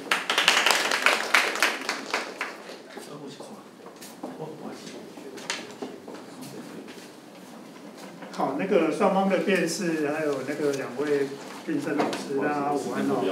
我们其实真的非常精彩哦。那也是我担第一次担任辩论赛的评审，所以我我想那个整个辩论赛的机制规则的部分，我想两位评审要跟大家讲。那我们从这个课题的本身来谈这个问题。这个这个题目，其实我在看到这个题目的时候，我的直觉。正方是比较有优势，因为你们看到民国那本好像是八十九还是八十八年那时候的研究报告嘛，那我刚好也参与在里面。那其实为什么会有那个研究报告产生？就是说，当然我就是要采水油课程，可是为什么这二十年来过去了，你会发现还是没有水油课证？哦，所以这里面一定有一些问题的哦。所以这个部分，我觉得整个双方在攻防的过程中，大体上。论述了几个重点，其实都有抓到这个 point。第一个就公平，我想当初会被提到税油征收就是公平性的部分哦。那其实反方在这个过程中，你们提到一个水车征收的一个修正的方式，这个也不错哦。再过来一个部分是激增的成本。那可可是我觉得整个在看的过程中哦，我觉得整个在看的过程中就是说，这二十年来其实科技在进步，其实我们的外在环境在进步。所以这中间这个课程的成本会不会真的增加？其实我觉得双方应该可以有更精准的一个攻防，哦，因为像现在电子那个电脑那么发达，其实在资讯系统的改善上面，其实在反方来讲会不会增加，其实我还不知道。那其实从那个反方的角度上面来讲，我现在可以用开始，比如说法单位可以用电子缴费啊等等，这些其实它的成本也不一定是随着征收会来的高，所以这个部分其实。因为我刚刚看了一下六位辩士，都不是学交通的，所以我已经蛮佩服你们了。只是说你们在有限的资源的过程中，变成说只能从有限的资料里面来看哦。那第三个其实是他的课程的目的到底是什么？其实刚双方都只有谈到公路的养护修建，但是它其实最后一项是很重要的，叫安全管理。其实，如果从安全管理的角度，其实我觉得正方应该还可以再去做加强，对不对？因为其实我们在交通上面在看这个安全问题的时候，其实它有个曝光量的概念，就是说我今天行驶在道路的时间越长，理论上，理论上我发生肇事的风险就会比较高。那这个叫曝光量的概念。好，所以双方其实在这个过程中，我觉得安全管理这件事情是有它的一个必要性的啊。那第四个其实是。违规使用就是地下油行的部分，我觉得刚刚那个陈老师讲的非常好。其实油行本身是一个问题，那为什么会有地下油行的产生？其实它是因为市场机制所导所导致的。那这个市场机制其实特别对这一些长途的使用者、大量的使用者、重度使用者，其实它的影响会最大。我如果今天我买买的车，其实我开的不多，其实我不会去冒险要去用地下油行。所以这里面其实产生一个问题是说。好，那我地下油行，大家对这个地下油行的油品，它到底清不清楚？地下油行的油从哪里来的？好，比如说大部分其实是渔船用油，那渔船用油的过程中，其实这个油的源头，我们可能通过什么的方式去管制？我觉得双双方在这个部分的论点有点像，但是都没有打到要害。哦，所以这里面呢，我想大概。从论点的部分哦，那另外其实有几点提供给大家做参考了。这个部分我想辩论技巧的部分，那个待会那个那老师应该也会去做论述哦。第一个，汽车燃料使用费的开征，它是交通问题，因为它在公路法里面去做去做那个规定哦。可是通常一个交通问题，它到最后会衍生出其他两个面向的问题，一个是环保，因为我们叫汽车燃料使用费。所以它会衍生到出一个，就是说我怎么样可以让我的油耗变得更少？好，所以它会是一个环保议题。所以过去公路法里面的时候没有环保议题在里面，因为民国四十九年那时候没有环保的概念。第二个、第三个其实是产业的问题。我们刚刚大家在谈经济部在对电动车的一个概念也好，那这个其实就是一个产业问题。所以汽车燃料使用费的开征为什么呢？这二十年来讨论那么久，报告也做了，可是还是没有动作。它它的 impact 太大了哦。那如果从交通的角度上面来讲，我觉得有几个关键的点，也许你们可以参考一下。第一个就是环保，我想我们现在在谈永续运输、绿运输，他都是要去鼓励公共运输。所以为什么在那个大大客车里面，他会去免征的原因就是这样。第二个其实是安全的问题，啊安全的问题。所以像我们刚刚在谈的过程中，也许正方可以再去论述一下，就是说我今天如果我让民众因为使用成本的增加，我不愿意去开车，那我把它移转到大众运输的话，其实对我们的安全来讲，可能是有帮助，对环保来讲也有帮助。所以这里面呢，我们如果从交通管理角度变成会有两个名词，因为那个各位都不是学校通嘛，所以我再次说一下，有个叫汽车持有的成本，另外一个叫做汽车使用的成本。其实我们现在汽燃费谁有征收，就是我希望你有车没关系，你买的车，但是我不希望你使用太过频繁，所以这个叫做汽车的使用。可是如果从随车征收，这个时候是我一次就把你的汽车持有成本，我是的严让你买都不要买。那这是两个不同的概念，所以我们在管理的过程中，你要从源头一开始我就让你不要买，还是说我要让你不要用？好像比如说，哎，我有车，可是我今天到台北来，因为公共运输发达，我就不会开车上来。哦，所以这个部分，第二个提供给大家的概念哦。那第三个哦，第三个其实双方都在谈那个油耗哦，就到底什么因素会影响油耗？这个部分其实就我做过研究里面来看了啊。其实，第一个它其实跟天气会有关，啊，天气会有影响，载重会有影响，车型会有影响，一个更重要的，车龄也会有影响。那可是这里面其实占的蛮大的一个比例，叫什么？叫驾驶行为，就是你们刚刚在讲的怠速、急加速、急减速这件事情。我举个例子啊，那个我们曾经辅导一家客运公司哦，就是那个国道客运，他一个好的驾驶。他去开车，他去开车，那那个好的驾驶，他的油耗大概每公升可以跑到三点五到四公里。那如果一个不好的驾驶，就是我的驾驶行为，我喜欢急踩刹车、急加速的，常常怠速的，它一公升大概只能跑到二点五公里。各位去看，一公升的汽油就差了二点五跟三点五之间，其实差了快三分之一。如果他跑一趟下来，刚刚刚陈老师讲的，哎，如果一个月三四十万的话，我就差了那么多钱。所以这里面，刚真的像陈那个陈老师在讲的，颜色的影响，这个可能是很 minor 的哦。可是这里面，也许正方在论述的过程中，就是说，哎，我今天其实我去石油征收以后，我可能还会衍生出另外的安全的效益。可是这个部分反方在攻防的过程中，其实也许可以去谈另外一个概念。我是不是一定从这个角度来看？比如说，像在美国，他们有所谓的那个 UBI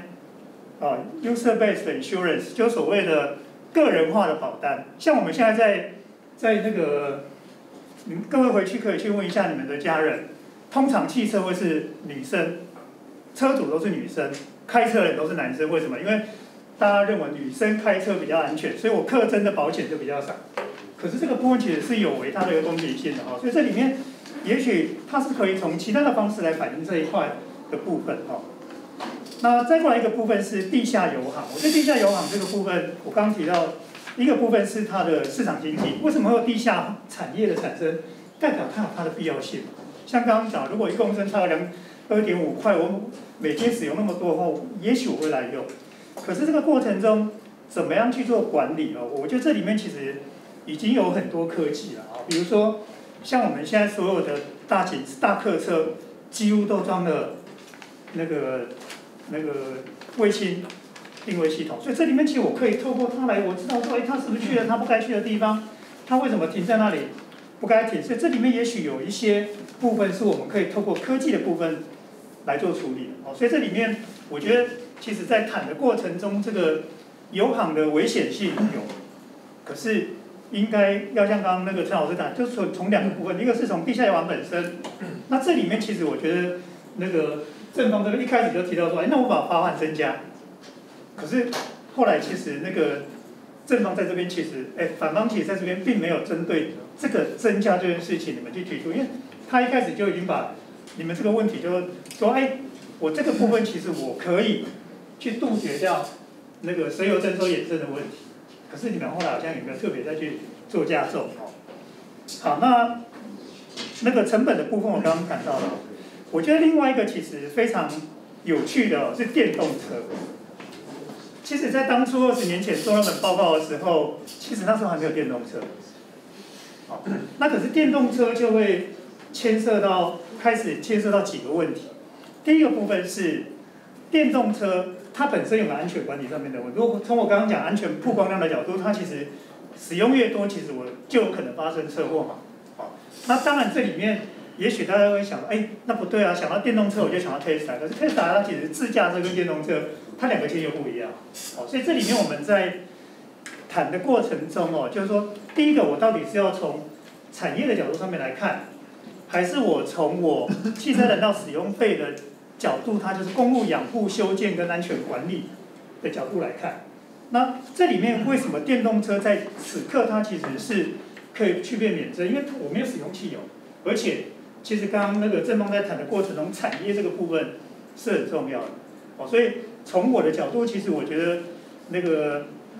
那个反方这边从功课角度、从公平性的角度来切入，我觉得是一个蛮蛮棒的一个切入点。哦，从油行的角度上面，其实也是一个蛮棒的切入点。那正方这边其实从一开始就从公平性，然后从地下油行衍生的问题，啊，那这里面我觉得都是一个不错的一个方式哦。那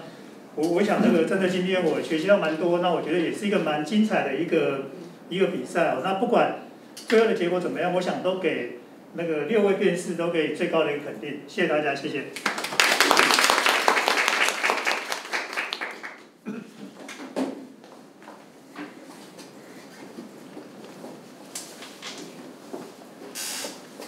朱昭明先生的讲评，现在我们请赖怡君女士为我们讲。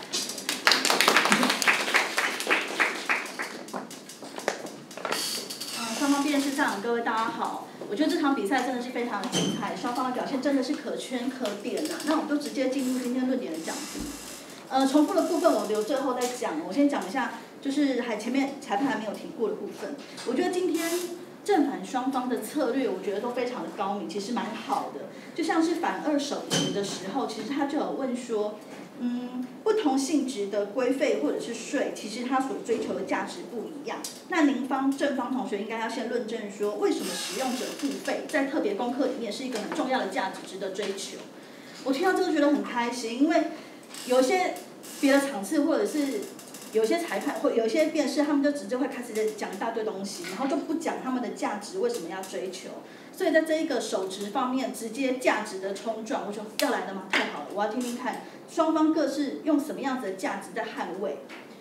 所以我一直以为说反方同学会一直往这个这边方向打，就是说，哎，使用者付费其实不是最主要要追求的目的。那后面可能会有些论述。其实他这样子的一个架构，就像那个大法官释字五九三一样嘛，就一样。大法官甚至最后的结论就是说，使用者付费或者是这样子的一个制度上面的设计，并不是。极致的去追求，他会考量到竞争成本，或者是呃政策上面的目的，哦，或者是道路道路养护的政策计划等等，会有一些调整。我觉得反方同学要讲的是这个，不过我觉得今天也是有点可惜，就诚如春南学长所讲的，就是说你们今天变动现况，哎，你们变动现况，我不确定你们离现况多远。你们这样子的论点要讲的前提是在于你们没有变动现况，所以你要告诉我们说，其实你们现况之下另外一个价值在追求。那比比较之下，正方要承担一些成本变动的成本不可预期，所以您觉得可能这样子的价值维持现况是好的，所以不见得要大破大立说我去追求使用者付费这么崇高的价值。我本来以为是这样，可是在于正方手持反方的时候，忽然发现天哪，你们要把车重纳入。计算公式里面，然后最后才说要参考日本的制度，这个方面其实会非常的危险，因为你们就是另外一个正方嘛，那你们就要有积极说明自己义务，然后做损益比的标的这样子的一个这样的一个义务了。虽然说反方同学有这样的失误，可是我觉得正方可能没有得利，为什么？因为这么明显的失误，其实在于阶段性上面，你们直接可以去冲撞，直接可以去质疑呀、对不对？就是说，那你方制度没有讲得清楚，那就相对是另外一个正方嘛。那其实这也不是一个很负责任的表现，就是阶段性上面，哦，我先说哈，就是论点分数是论点分数，阶段性阶段性，我是可以接受阶段性分数跟论点分数不一致的状况。那我阶段性分数我判的方式是。有时候分数高或低，不代表说你真的讲的非常的不好，或者是非常的好，而是在于你那个时候的那个当下，做到你那个时候要做的职责。譬如说，我会觉得你这个时候就是要框定，哦，那很好，我觉得今天正反双方的辩士的一辩都有做到制度上面的框定，我觉得很好，所以就会给很高分。那随着比赛的节奏。